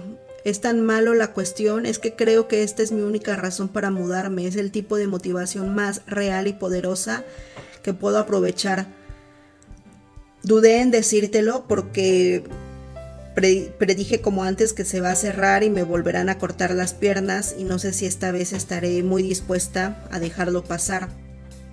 En esta carta pues Daniela se estaba como que despidiendo y diciendo que pues ya quería, eh, se sentía como una bebé y que ella ya quería tomar su vida por sus manos, controlar su vida y alejarse de ellos donde realmente no estaba aprendiendo nada y simplemente sentía que le cortaban las piernas, las manos, pues se sentía no valorada y no autosuficiente. A lo cual Ranier le contesta que tal vez necesita más, color, más dolor, que tal vez deberían considerar cortarle los brazos también, o sea, respondiéndole siempre de forma irónica. Em, y luego le dice Daniela, que, que, le dice Ranier a Daniela que Dice, para volver al primer párrafo de tu carta, creo que puedo pensar de esta manera, porque primero tengo el control del hecho de que siendo real aquí no tengo ninguna motivación para hacer lo correcto, porque es lo correcto y en este punto solo quiero hacer algo, o voy a terminar perdiéndome, y lo más importante, no te veo de la misma manera que solía hacerlo, ya no te extraño, pienso en ti casi todo el tiempo, pero mis entrañas no se encogen cuando pienso en ti. Me siento atada a ti, pero no como antes. Como antes que quería desesperadamente tenerte de vuelta. Ahora casi siento que quiero separarme. Y ahora como antes, cuando era una posibilidad para mí, parece que puede serlo. Y pues Ranier le contesta, imagínense qué fuerte, ¿no? Decirle esto al psicópata, error, por eso cuando tú te separas de un psicópata o de un narcisista tienes que ser muy inteligente para no desatar su ira. Eh, tienes que ir con una ayuda profesional, realmente una ayuda, una persona que sepa para que ella te vaya diciendo los pasos de lo que tienes que hacer Claramente pues lo que está haciendo Daniela error porque solamente lo que hizo fue desatar la ira de este psicópata. Vamos a ver cuáles van a ser las consecuencias. Daniela pues estaba siendo totalmente sincera, sin embargo pues estas personas al no ser empáticas, al no ser personas normales o personas que tengan un espíritu, no te lo pueden creer, ¿no? O no te lo pueden aceptar. Y entonces, eh, pues Ranier le dice que eso es absolutamente lo contrario de lo que debe aceptar, entender. Lo que he dicho significaría que este pensamiento le disgustaría y, aterrorizaría. Em, Daniela dice, la verdad es que realmente no me recuerdo con respecto a ti, he estado enfriado un par de veces y creo que es lo que me molestó tanto, es que no sentí nada, quería sentir nostalgia, pero no lo hice. Recuerdo tus conversaciones. Ah, es la carta de Daniela. Tu voz, pero no la sensación de ti o mirarte a los ojos. Puedo imaginarlo, pero no puedo entrar en él. No recuerdo. Esa yo es difícil de explicar. Y Ranier le dice, no solo necesitas hacerme parte de tu vida, necesito ser toda tu vida, ¿no? Como un dios. Esto es la única manera, cualquier cosa ética que necesites para estar obsesionada conmigo y sentirte debes hacerlo, Daniela. Creo que como has dicho, somos moldeados por las personas en nuestras vidas y tú ya no eres parte de la mía. Creo que este pequeño viaje que he hecho contigo ha sido mitad sueño, mitad pesadilla. La, mm, esta es carta de Daniela. La primera parte tenía todas las posibilidades, pero una fantasía. La segunda parte, esta vez lejos de ti, ni siquiera puedo describirla. El caso es que creo que no soy la persona adecuada para el trabajo. No tengo la fuerza ética que tú tienes y no deseo desarrollarla. Somos similares en algunos detalles menores y extremadamente diferentes en las cualidades más importantes. La primera parte fue real, la segunda parte... A Ranier le dice, la primera parte fue real, la segunda parte enferma, delirante a tu manera, orgullosa, quizás, además de pisar flores, podrías atrapar algunas algas. Después Daniela culmina su carta con los siguientes planteamientos.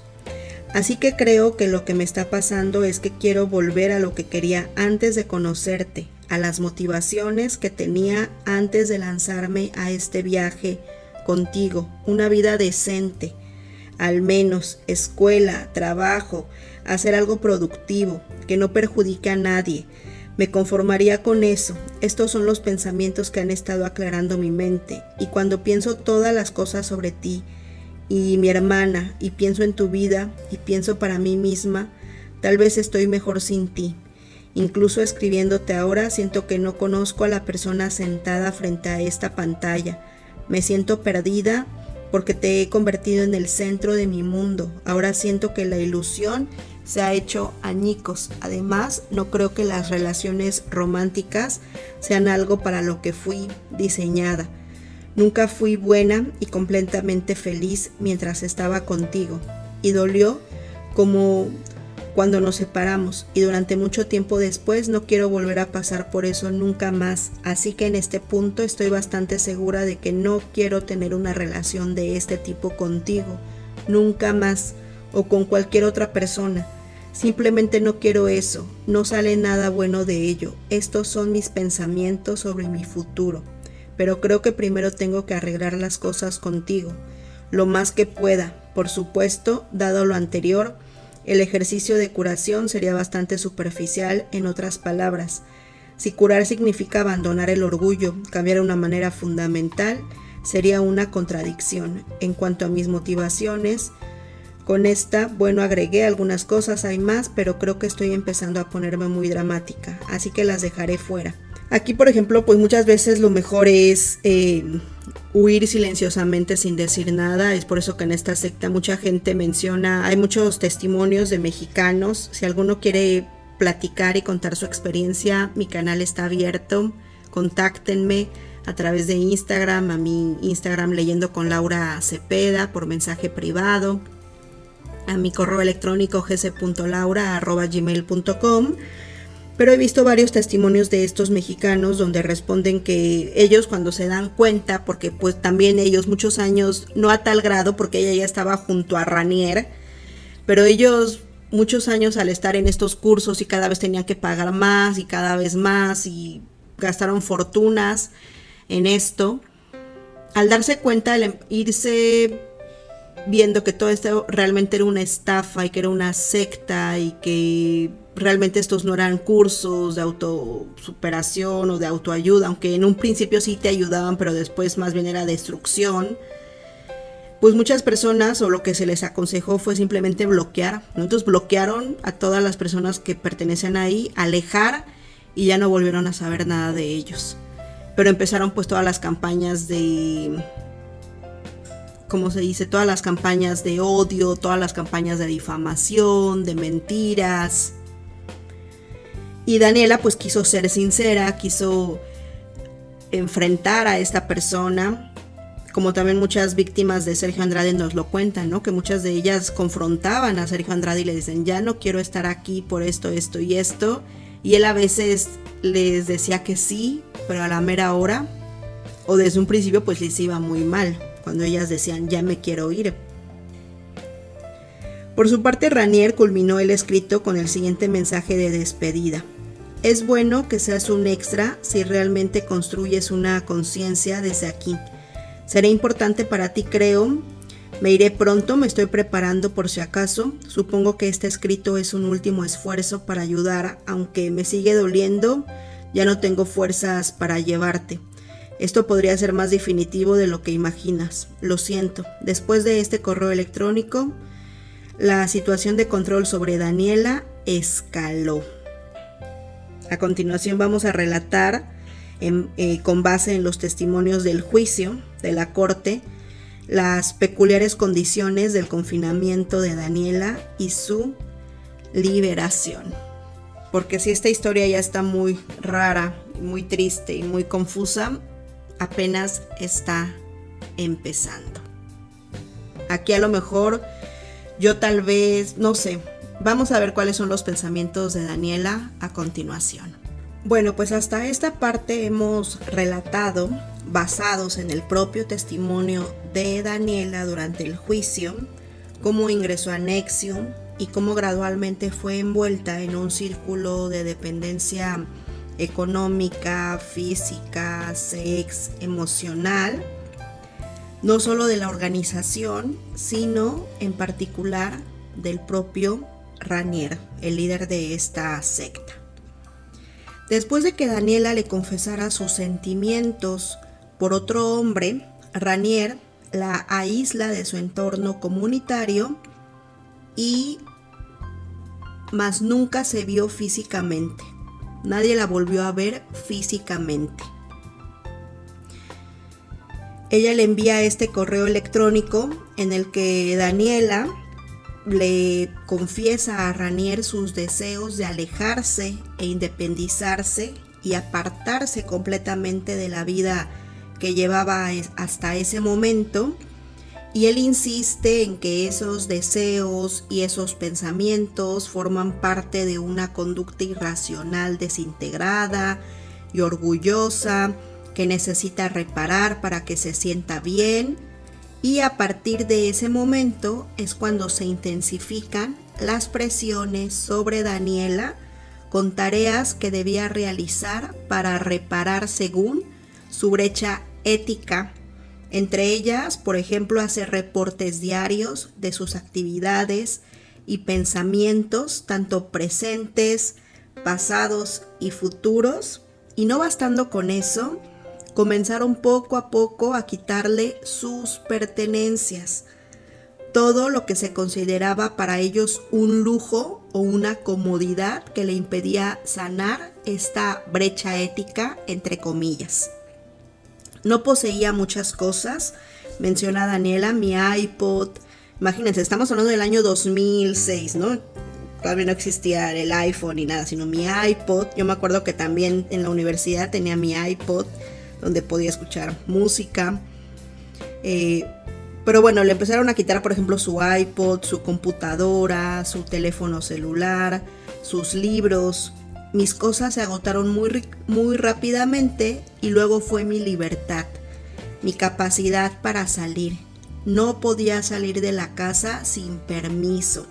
No podía dormir sin permiso. No podía comer sin permiso. Para ese entonces, Daniela vivía con sus padres en la localidad de Wilton, que también aquí, pues qué onda con los padres, ¿no? Pero los padres también estaban manipulados en todo este sistema y ellos consideraban que era lo mejor para sus hijos para, y para Daniela. La fiscalía le preguntó a Daniela quién estaba a cargo de hacer cumplir estas tareas. En ese momento mi familia había sido reclutada para ayudarme. Lo que sucedió fue no sé exactamente en qué, en qué momento.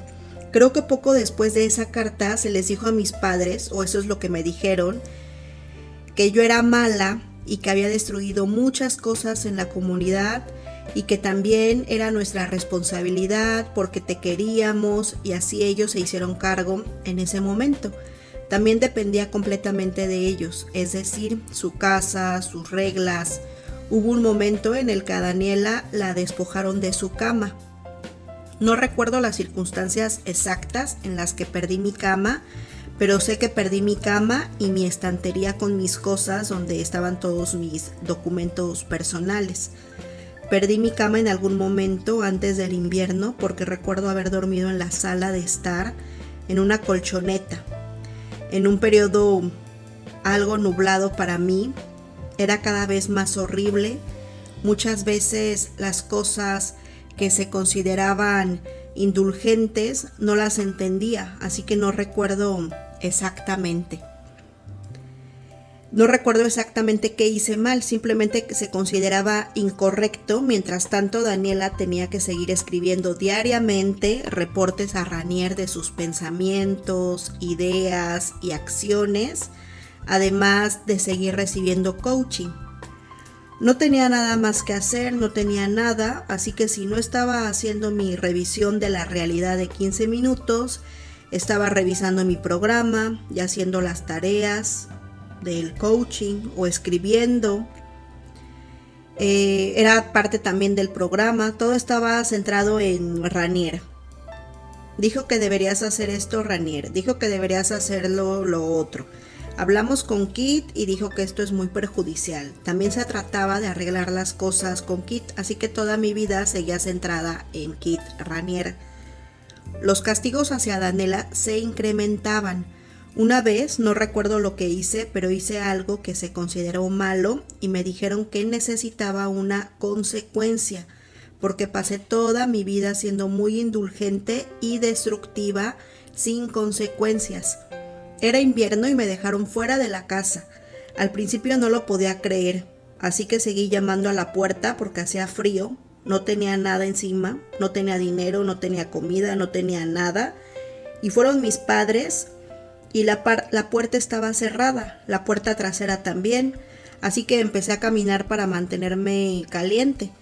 Volví a la casa pensando que me dejarían entrar y no lo hicieron, así que comencé a caer en cuenta. Son mis padres, fueron mis padres. Empecé a caminar por el, por el vecindario tratando de mantenerme caliente mi cuerpo.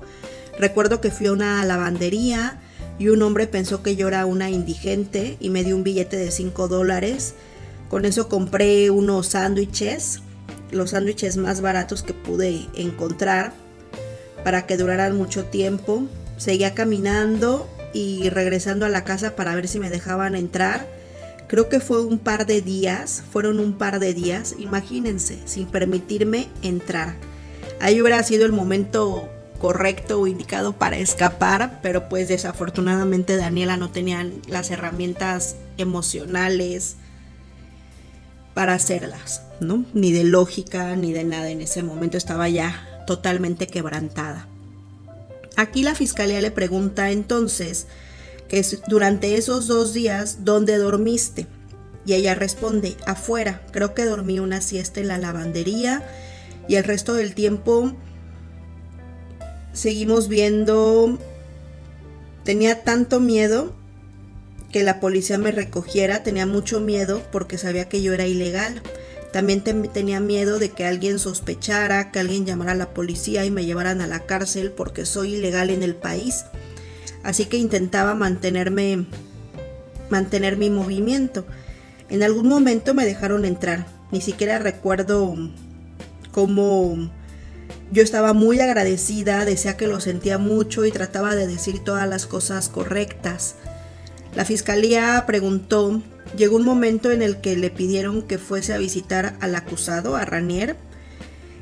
Era parte del entrenamiento que estaba recibiendo. Recuerdo que había mucho énfasis en el punto de que era una orgullosa, que no era humilde, que tenía que decir que lo que sentía, que tenía que decir que lo sentía y había dicho que lo, había, que lo sentía muchas, muchas veces, antes de muchas, muchas formas, pero todas ellas se consideraron falsas e insuficientes.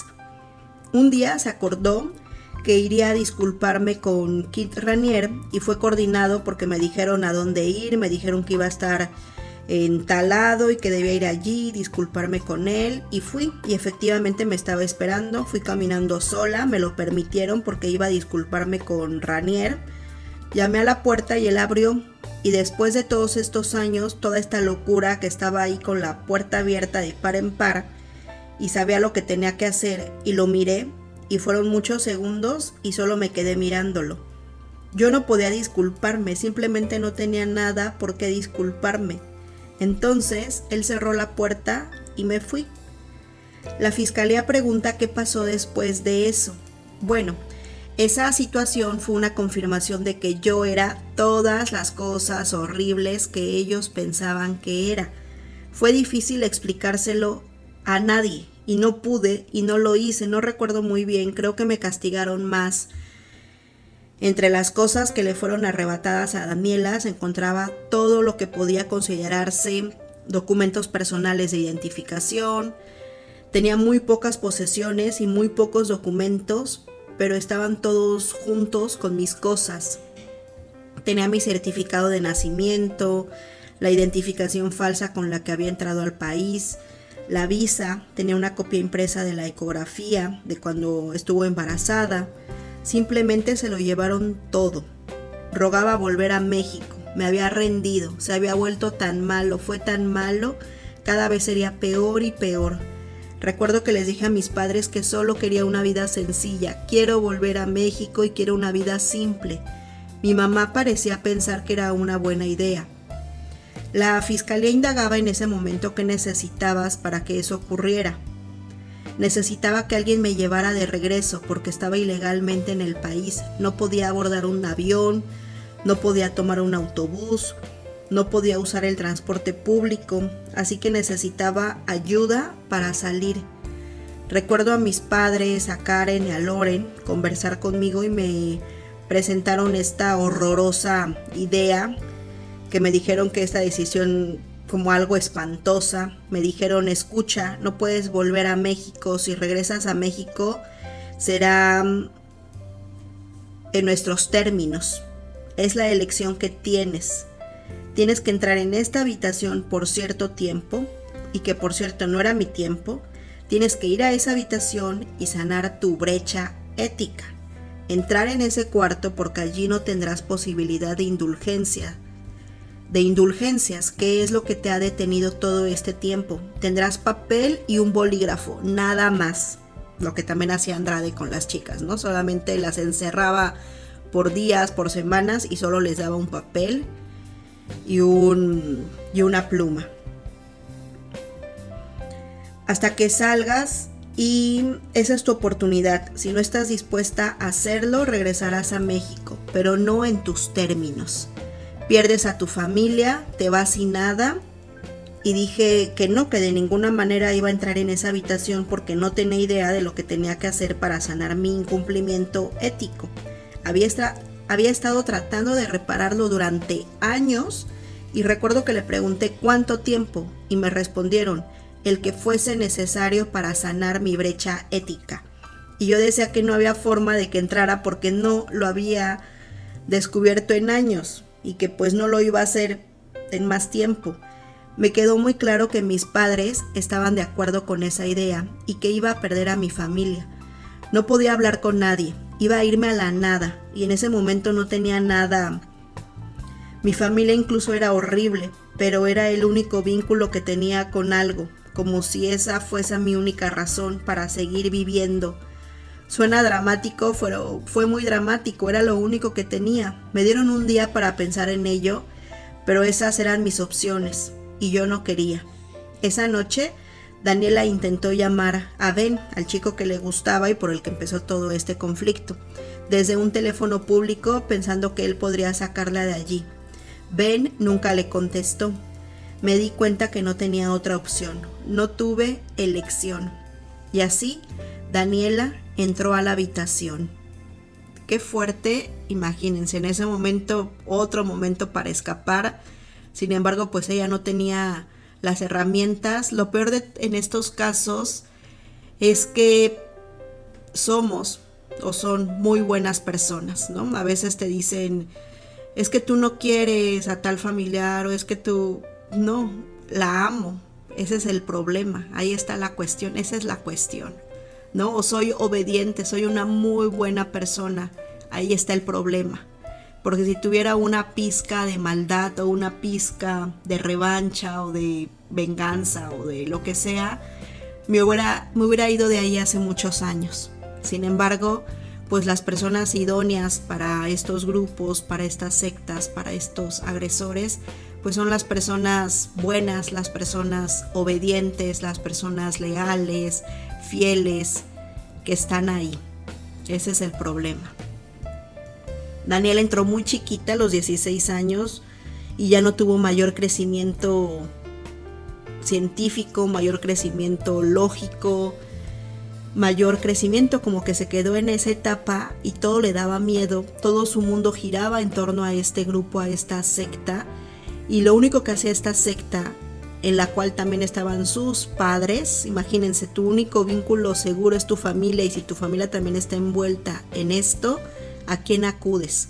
Y lo único que le hacían eran meterle ideas de miedo y todo lo que está diciendo que no podía salir porque no tenía papeles, bueno, que sí era cierto, pero a lo mejor ella tuvo que haber acudido a un consulado, a la embajada, para que la asistieran. Hay muchas instituciones que ayudan porque esto ya era trata de personas. Sin embargo, pues Daniela con la poca información que tenía, no sabía de la existencia de esto. Y también pues muerta de miedo. Su única opción pues era llamarla a este chico Ben, que pues imagínense, ya habían pasado muchos años, a lo mejor él había cambiado el teléfono, él también a lo mejor al estar metido en esta secta le prohibieron contestarle a esta persona porque la aislaron totalmente durante años. Estamos hablando de años. ¿Saben qué es un año? ¿Saben cuántos son años? Días, semanas, meses, o sea, mucho tiempo.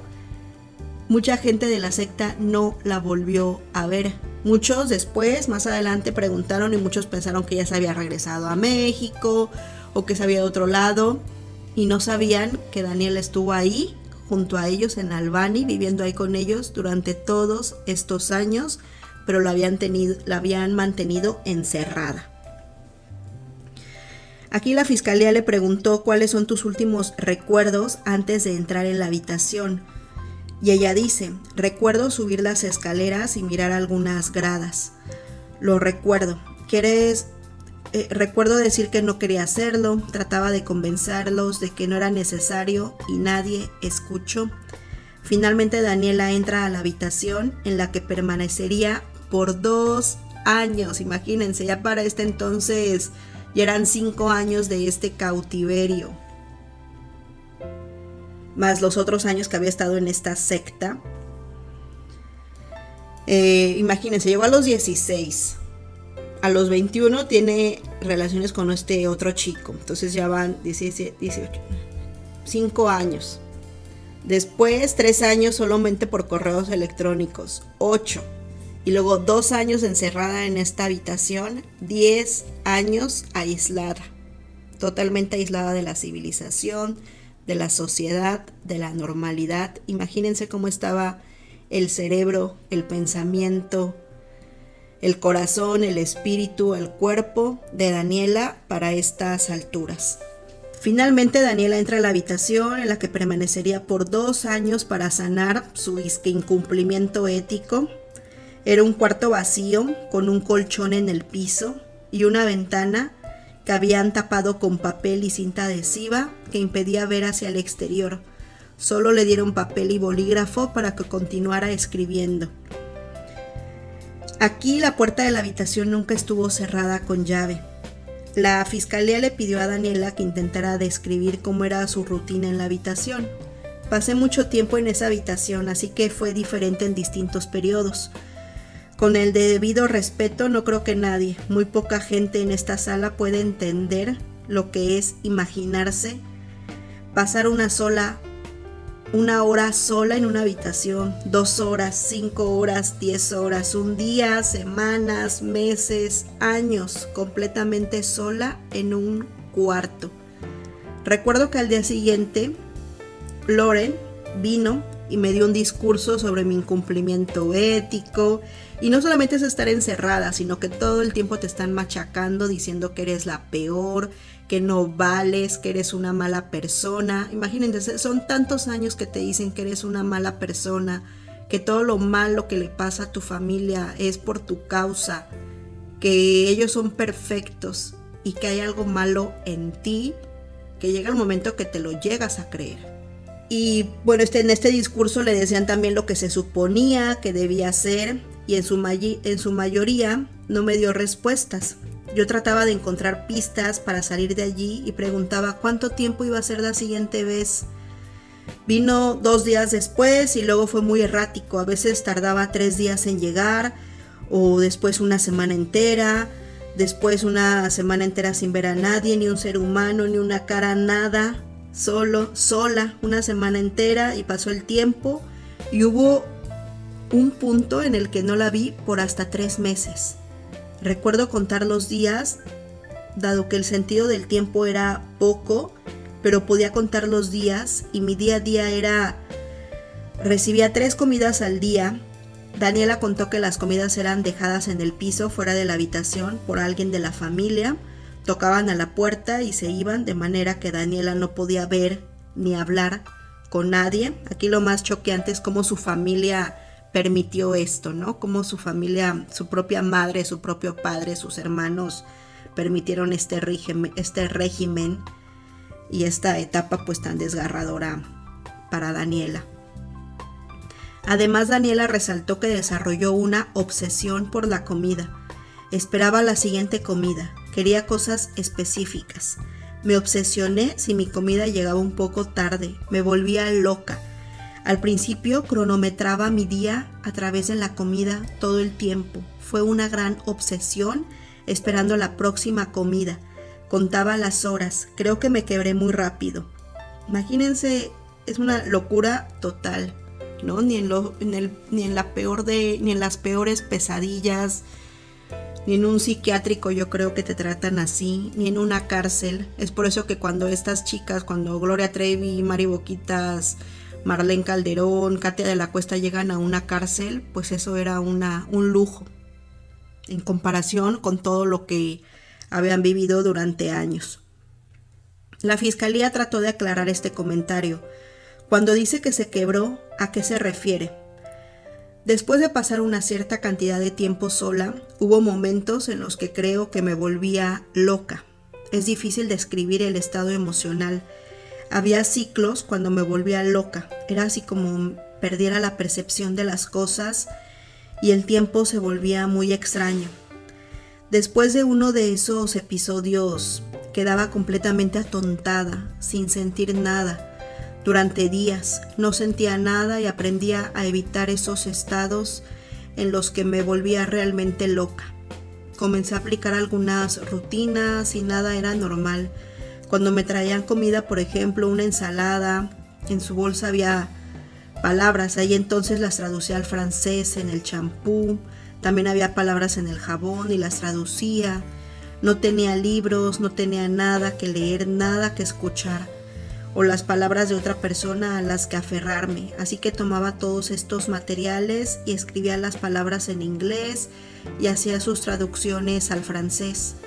Trataba de mantenerme ocupada e intentaba tener un calendario, trataba de hacer cosas, otras veces simplemente pasaba por recuerdos en mi cabeza y decía, está bien, voy a desayunar y voy a ir a Walmart y en mi cabeza fantaseaba. Voy, fantaseaba con salir de la casa, abriendo la puerta, eh, viendo el asfalto, es negro, hay una piedra aquí o una calle aquí o basura al frente, voy a dar la vuelta y contaba los pasos y cada memoria intentaba mm, obstruir algo dentro de mi mente para no volverme loca, porque cuando sucedía era un estado aterrador y trataba de evitarlo a toda costa.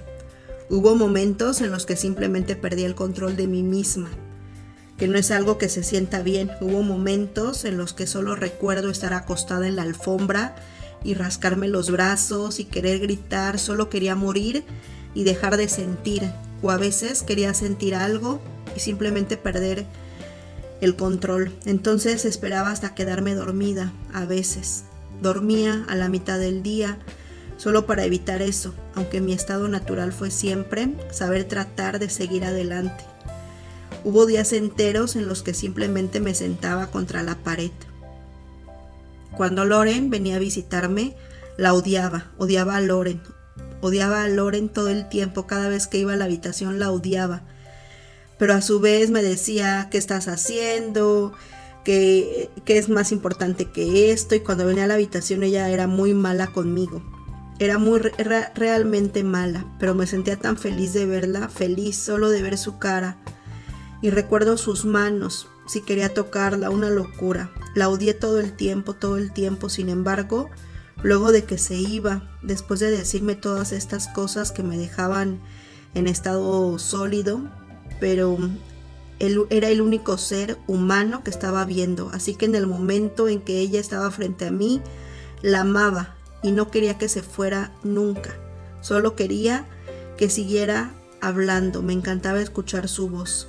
En algún momento y te lo bloqueaba la ventana y podía ver hacia afuera y me mantenía ocupada tratando de contar cosas e imaginar, veía el mismo pájaro todos los días. Trataba de encontrar una rutina, algo que tuviera sentido. Escribía todos los días, trataba de encontrar la clave, las palabras que se suponía que debía estar en la habitación, hasta que arreglara mi incumplimiento ético. Y usando la lógica, no había nada que pudiese hacer al respecto, porque no podía salir de allí, pero debía haber algo que pudiese escribir, una combinación de palabras que significara algo. Usaba todas las palabras que podía encontrar e intentaba recordar cuáles fueron las últimas instrucciones durante los últimos años. Escribía cartas de amor, te amo, lamento mucho haberte hecho esto. Trataba de hacer mi disculpa lo más sincera posible, porque sabía que eso era lo que se esperaba de mí, pero nada funcionó. Imagínense la psicosis y el estado mental tan alterado en el que había llegado Daniela. Y a veces decimos que estas personas son débiles, pero a veces son más fuertes de lo que ustedes se imaginan. Son personas fuertes, valientes, resilientes, que a pesar de todo lo que han pasado siguen siendo personas positivas, personas que miran hacia adelante, como lo menciona aquí Daniela. A pesar de todo esto, yo buscaba la forma, buscar esa combinación de palabras exactas que me permitiera salir de ahí. Y bueno, Daniela continuó tratando de describir situaciones y emociones que sucedieron a lo largo de su encierro. Hubo un punto en el que pensé, está bien, tengo un bolígrafo y papel, tengo que arreglar mi brecha. Comenzaré con mi familia. En lugar de cartas comencé a redactar una especie de boletín que enviaría a todos los miembros de la familia. Lo llamé Wilton Times. Sería una forma, no sé en qué estaba pensando honestamente, muchas de las cosas que estaba haciendo en la habitación no eran racionales, pero hice eso. Creo que por algunos días, tal vez semanas, y se ve todo como una gran indulgencia y una violación ética en otro momento también tuve uno de mis episodios alterados, tenía un punto de quiebre y decidí cortarme el pelo. Alguien había dejado unas tijeras en el baño, pensé que quería cortarme el pelo.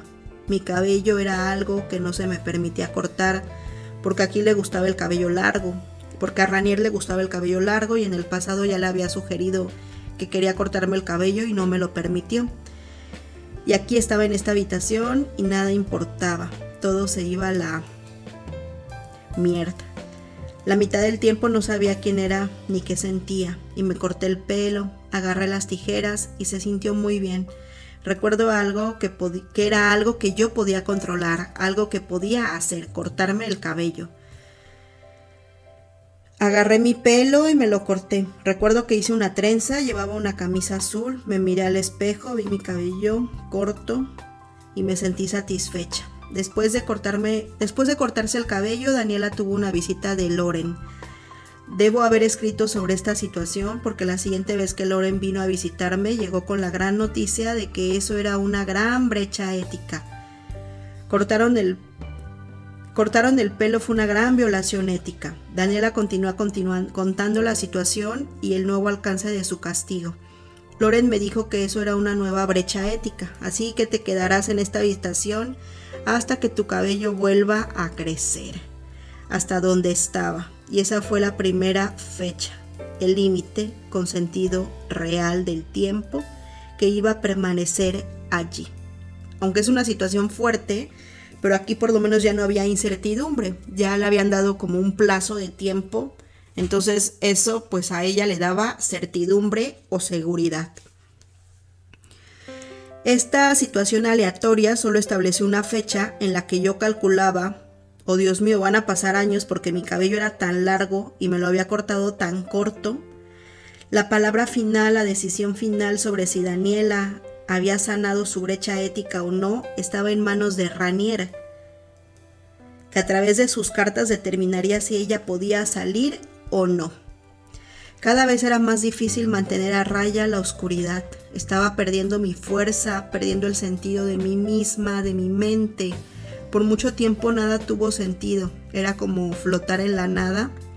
Pero había dolor porque existía la conciencia de que nadie se preocupaba por mí.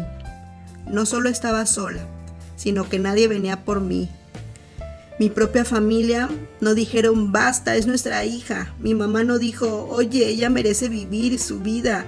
Ellos no vinieron, nadie vino. Y dijo, basta, es mi hermana. Ni una sola alma, nadie.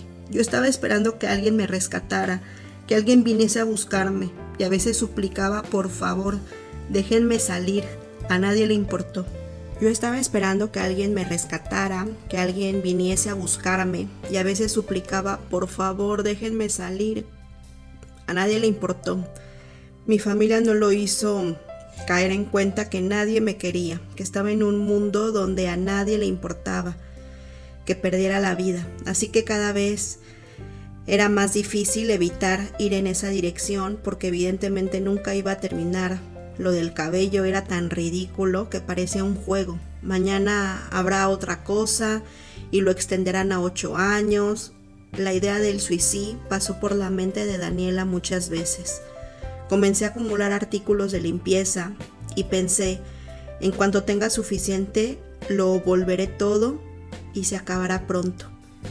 Sin embargo, su conciencia fortalecida logró despertarla. Recuerdo ese día que miré por la ventana sin conexión alguna, pero miré por la ventana y vi un pájaro. Había visto a esta familia de pájaros durante algún tiempo y era un pájaro rojo. Tuvo bebés. Creo que desapareció por un tiempo, durante el invierno, y este día regresó, voló y se posó en el árbol. Y no sé qué tenía ese pájaro, pero en ese momento recuerdo haber pensado, quiero vivir quiero vivir.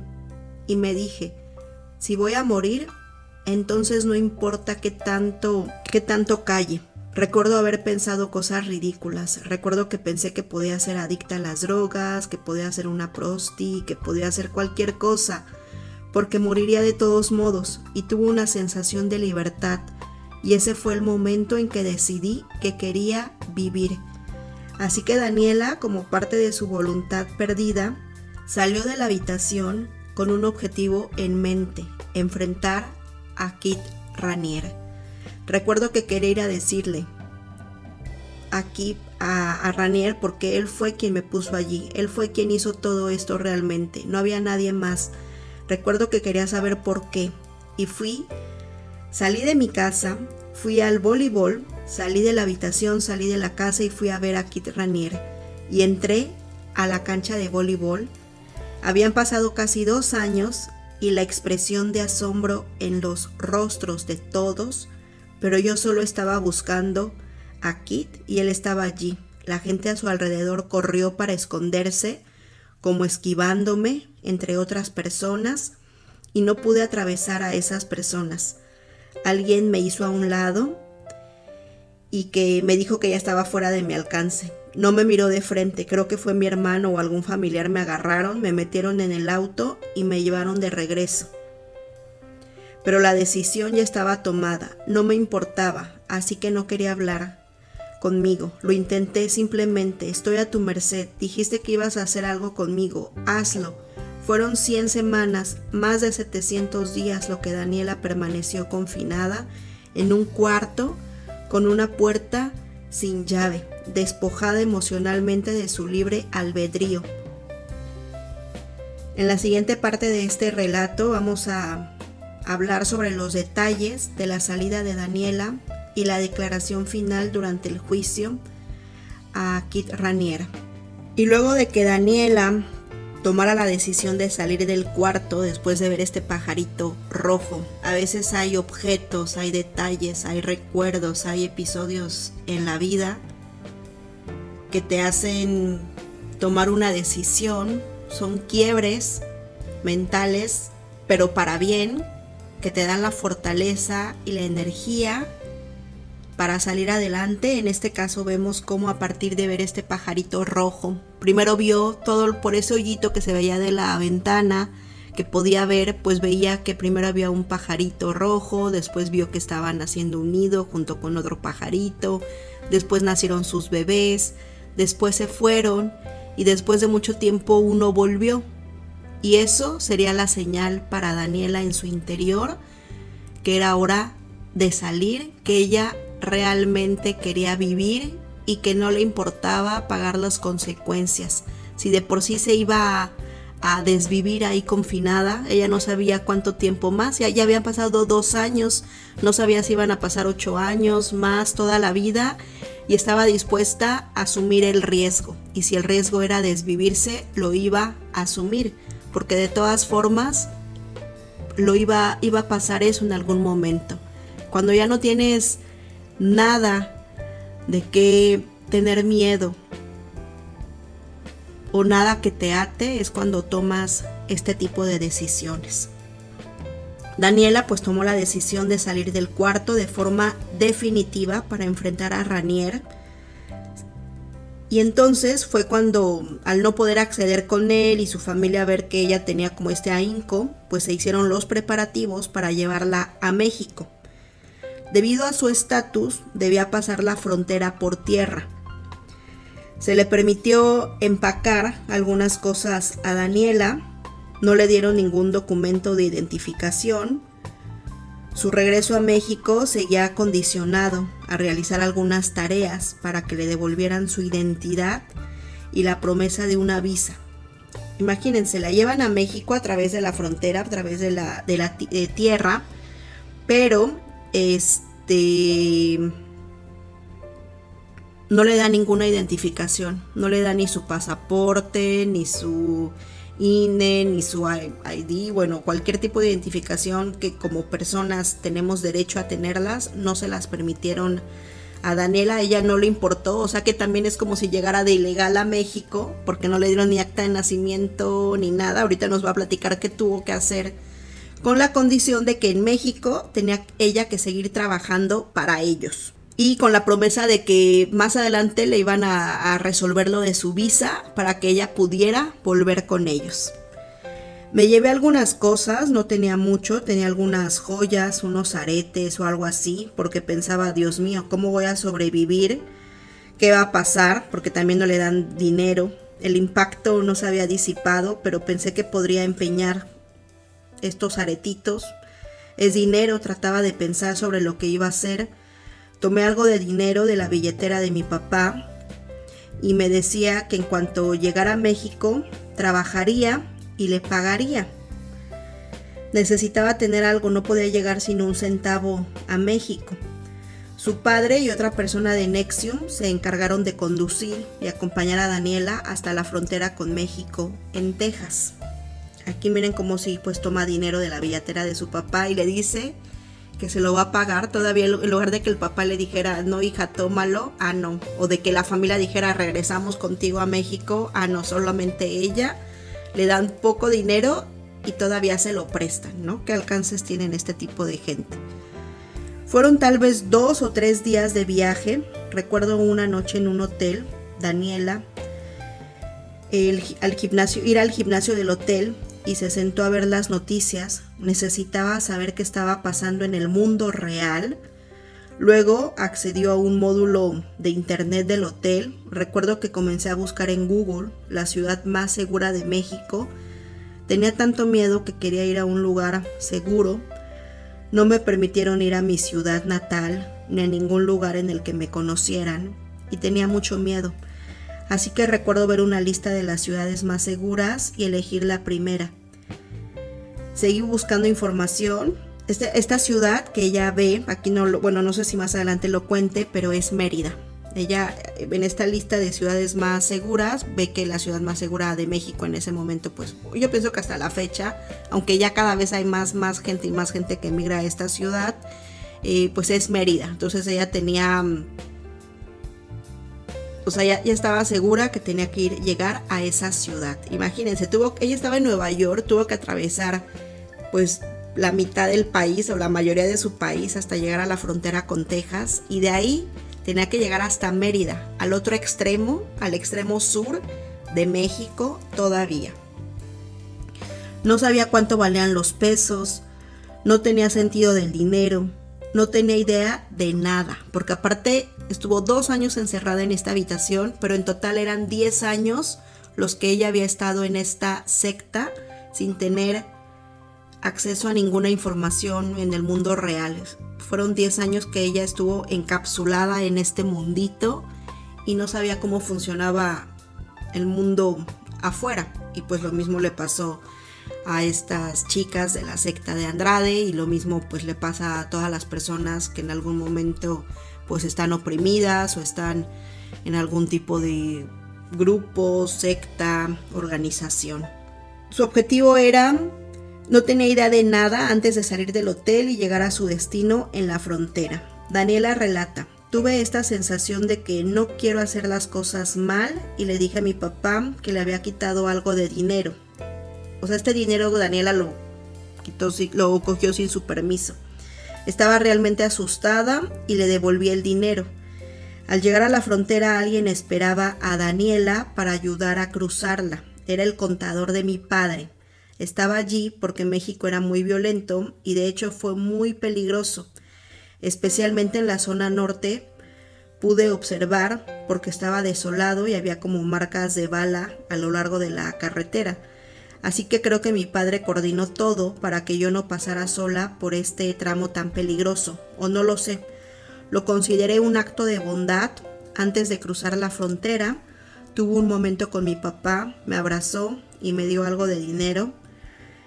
Em, lloramos y me dijo, por favor, haz todo lo necesario para regresar con nosotros.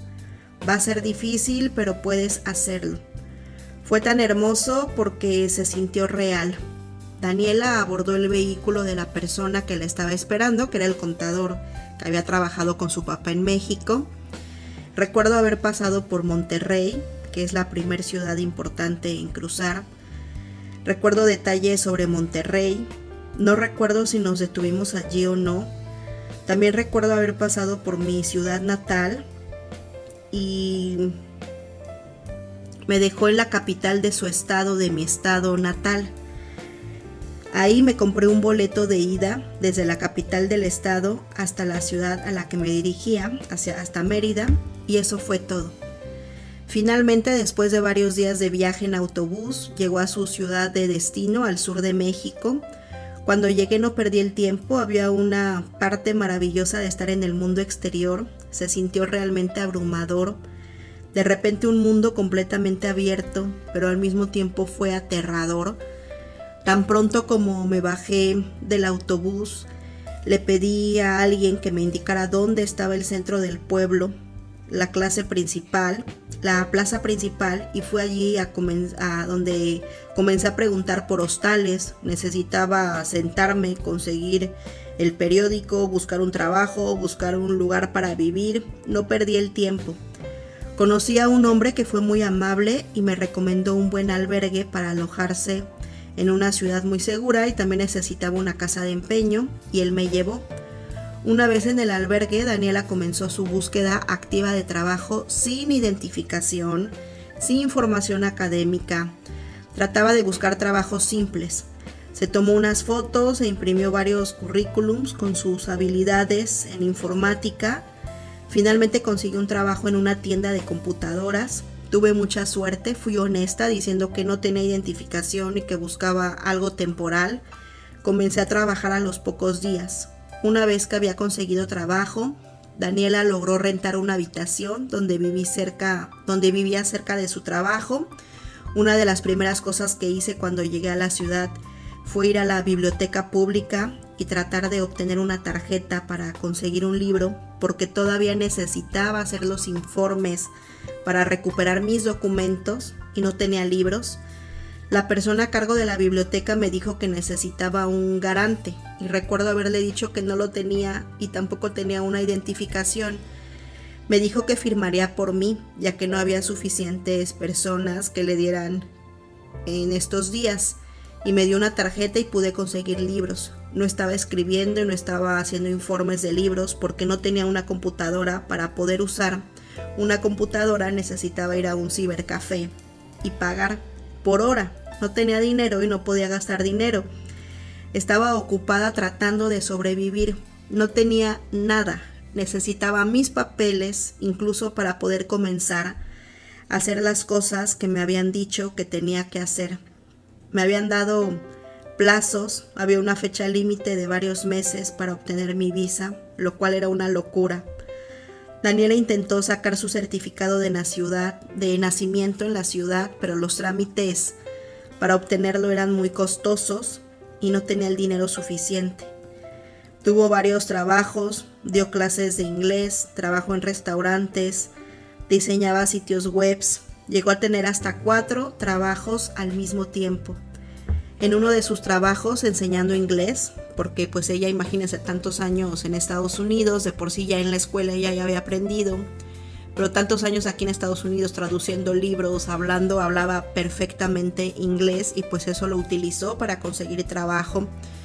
En uno de sus trabajos enseñando inglés conoció a una mujer que era abogada de la Comisión de Derechos Humanos. Nos hicimos amigas y en una de nuestras conversaciones le comenté mi situación con los papeles. Me dijo que tener una identidad es un derecho humano. Me ofreció conseguirme mi certificado de nacimiento y a través de la Comisión de Derechos Humanos obtuve finalmente mi certificado de nacimiento gratis. La fiscalía le preguntó a Daniela cómo cambió su vida una vez que tuvo su certificado de nacimiento. Tener una identidad lo es todo. Lógicamente me refiero a lo que se puede hacer, los trabajos que se pueden postular, tener cuentas bancarias, tener tarjetas de crédito, tener un lugar oficial donde vivir, el sentido de identidad y la falta de dependencia. Mi vida cambió por completo. Sin embargo, Daniela no había cortado su dependencia emocional con Ranier. Seguía comunicándose, escribiendo reportes, cumpliendo tareas. Cuando salí de Estados Unidos, cuando escapé de la habitación, obviamente significó un antes y un después. Fue una gran decisión, pero de ninguna manera detuvo todo. No se borró todo dentro de mí, no se borró el abuso, no se borró la manipulación y no fue así para mí. No creo que la naturaleza humana sea así. Así que incluso después de que me fui, todo el abuso seguía dentro de mí, o sea, todo lo que le habían metido, ese lavado de cerebro, todas esas ideas seguían dentro de ella. Y aunque ya físicamente no estaba con ellos, tenía como esa responsabilidad moral o esa culpabilidad, o no sé cómo describirlo.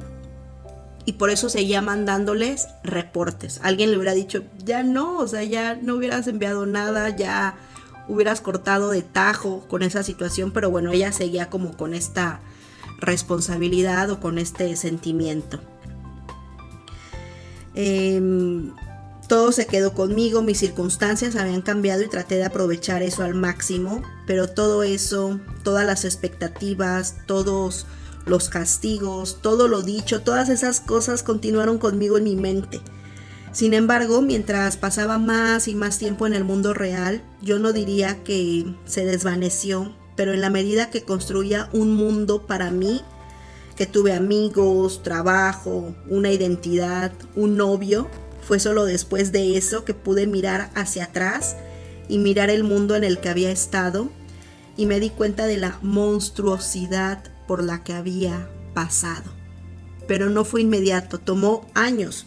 Fue un largo proceso de reconstrucción de cada parte de mi existencia, que había sido destruida en mi mente, todavía sentía que necesitaba arreglar lo que les debía, algo que hice, algo malo. Aproximadamente un año después de su salida del cuarto, un acontecimiento la lleva a encontrarse con varios miembros de Nexium. Imagínense, después de mucho tiempo, en abril de 2013, Daniela trabajaba como gerente del restaurante de un exclusivo hotel en Mérida, México. Daniela, pues al ser inteligente, trabajo donde llegaba, trabajo donde se quedaba, donde la admiraban, donde la querían, donde le iba muy bien. Empezó desde abajo y pues por sus habilidades, por su responsabilidad, por su inteligencia, logró escalar. Y para este momento pues ella ya era gerente de un restaurante de uno de los hoteles más exclusivos de Mérida, Yucatán. En ese hotel, en ese lugar, se realizaba la boda de, Emilia, de Emiliano Salinas, miembro de alto rango en Nexium, con la actriz Ludvika Paleta, y bueno, hijo de este expresidente Carlos Salinas de Gortari. Lorenz, la única persona a la que Daniela vio mientras estuvo encerrada en este cuarto durante dos años, fue invitada a la boda junto a otros miembros de esta secta. Recuerdo que fue una experiencia extraña. Estaba en la fuente frente al hotel en el que trabajaba. Era como dos mundos chocando. Mi hermoso nuevo mundo y el pasado. Según Daniela, comentará en su testimonio, la interacción con Loren fue igual que en el pasado, preguntándole cómo iba en su programa y dándole discursos de cómo podía arreglar las cosas. La fiscalía le preguntó, ¿consideró, con su que su contacto con alguien en Nexium ya era importante para tratar de obtener acceso a su familia. Sí quiero decir, ni siquiera puedo decir Loren, porque siempre fue Ranier que tenía el control de mi familia. Todavía todo fue canalizado a través de Ranier. Si hacía lo que tenía que hacer, tendría acceso a todo eso. Pero eso se desvaneció con el tiempo. En algún momento me di por vencida con mi familia. En realidad no completamente, pero estaba construyendo mi propia vida. Solté a mi familia. No, y no, lo, no, las no necesitaba ver a mi familia. Ya no necesitaba mis papeles. La belleza de la vida y vivir la vida simplemente se apoderó de mí y pude seguir adelante. Sí sentí claramente que aquí tenía el control de mi familia. Daniela continuó con su nueva vida, reconstruyéndola, y en el transcurso del tiempo la primera persona de su familia con quien Daniela retomó contacto fue con su madre, Adriana, quien había dejado Albany en Nueva York para mudarse a México, luego su hermano Adrián, quien ya comenzaba a dudar de la situación en Nexium con Ranier, puesto que su hermana mayor Mariana había tenido un hijo de él, finalmente Camila, a quien trató de ayudar llevándola a México con el apoyo de su hermano. Para el momento del juicio contra Ranier, Daniela es la directora general de una empresa manufacturera con muchas responsabilidades y viajes alrededor del mundo. En algún momento me di cuenta de que no iba a cambiar el mundo y fue triste. Tenía sueños infantiles de cambiar el mundo y hacer algo realmente importante. Hoy siento que mi participación en el mundo es más pequeña, pero lo suficientemente grande para mí. Tengo familias que dependen de mí. Tengo 250 familias que dependen de mí y estoy muy orgullosa de hacer ese trabajo. En el mes de octubre del año 2020, ocho años después de que Daniela saliera del cuarto, imagínense, para este momento ya son 12 años, y comenzara a reconstruir su vida, Ranier fue sentenciado a 120 años de prisión. El día de su sentencia, Daniela hizo una breve declaración de impacto de víctima dirigiéndose a Ranier y le dijo, tomaste 10 años de mi vida desde los 16 a los 26 y el tiempo es la única métrica fácil porque no puedo cuantificar lo que me hiciste en otros términos de abuso. Abusaste de mi cuerpo, inocente, quebraste mi mente y pusiste a mi familia en mi contra. Sobreviví pero no porque fueses misericordioso, sino porque fui resiliente. Sin embargo, nunca sabré cómo hubiese sido mi vida sin todo este dolor y horror que me hiciste. Encuentro alivio al saber que esto ha terminado. Encuentro alivio al olvidarme de ti y esta es la última vez que llamarás mi atención. Kit Ranier cumple una condena en prisión, la vida de Daniela fue solo una de las muchas vidas influenciadas, manipuladas y controladas por Ranier. Y hasta aquí este testimonio de una víctima, el testimonio de una víctima de trata de personas.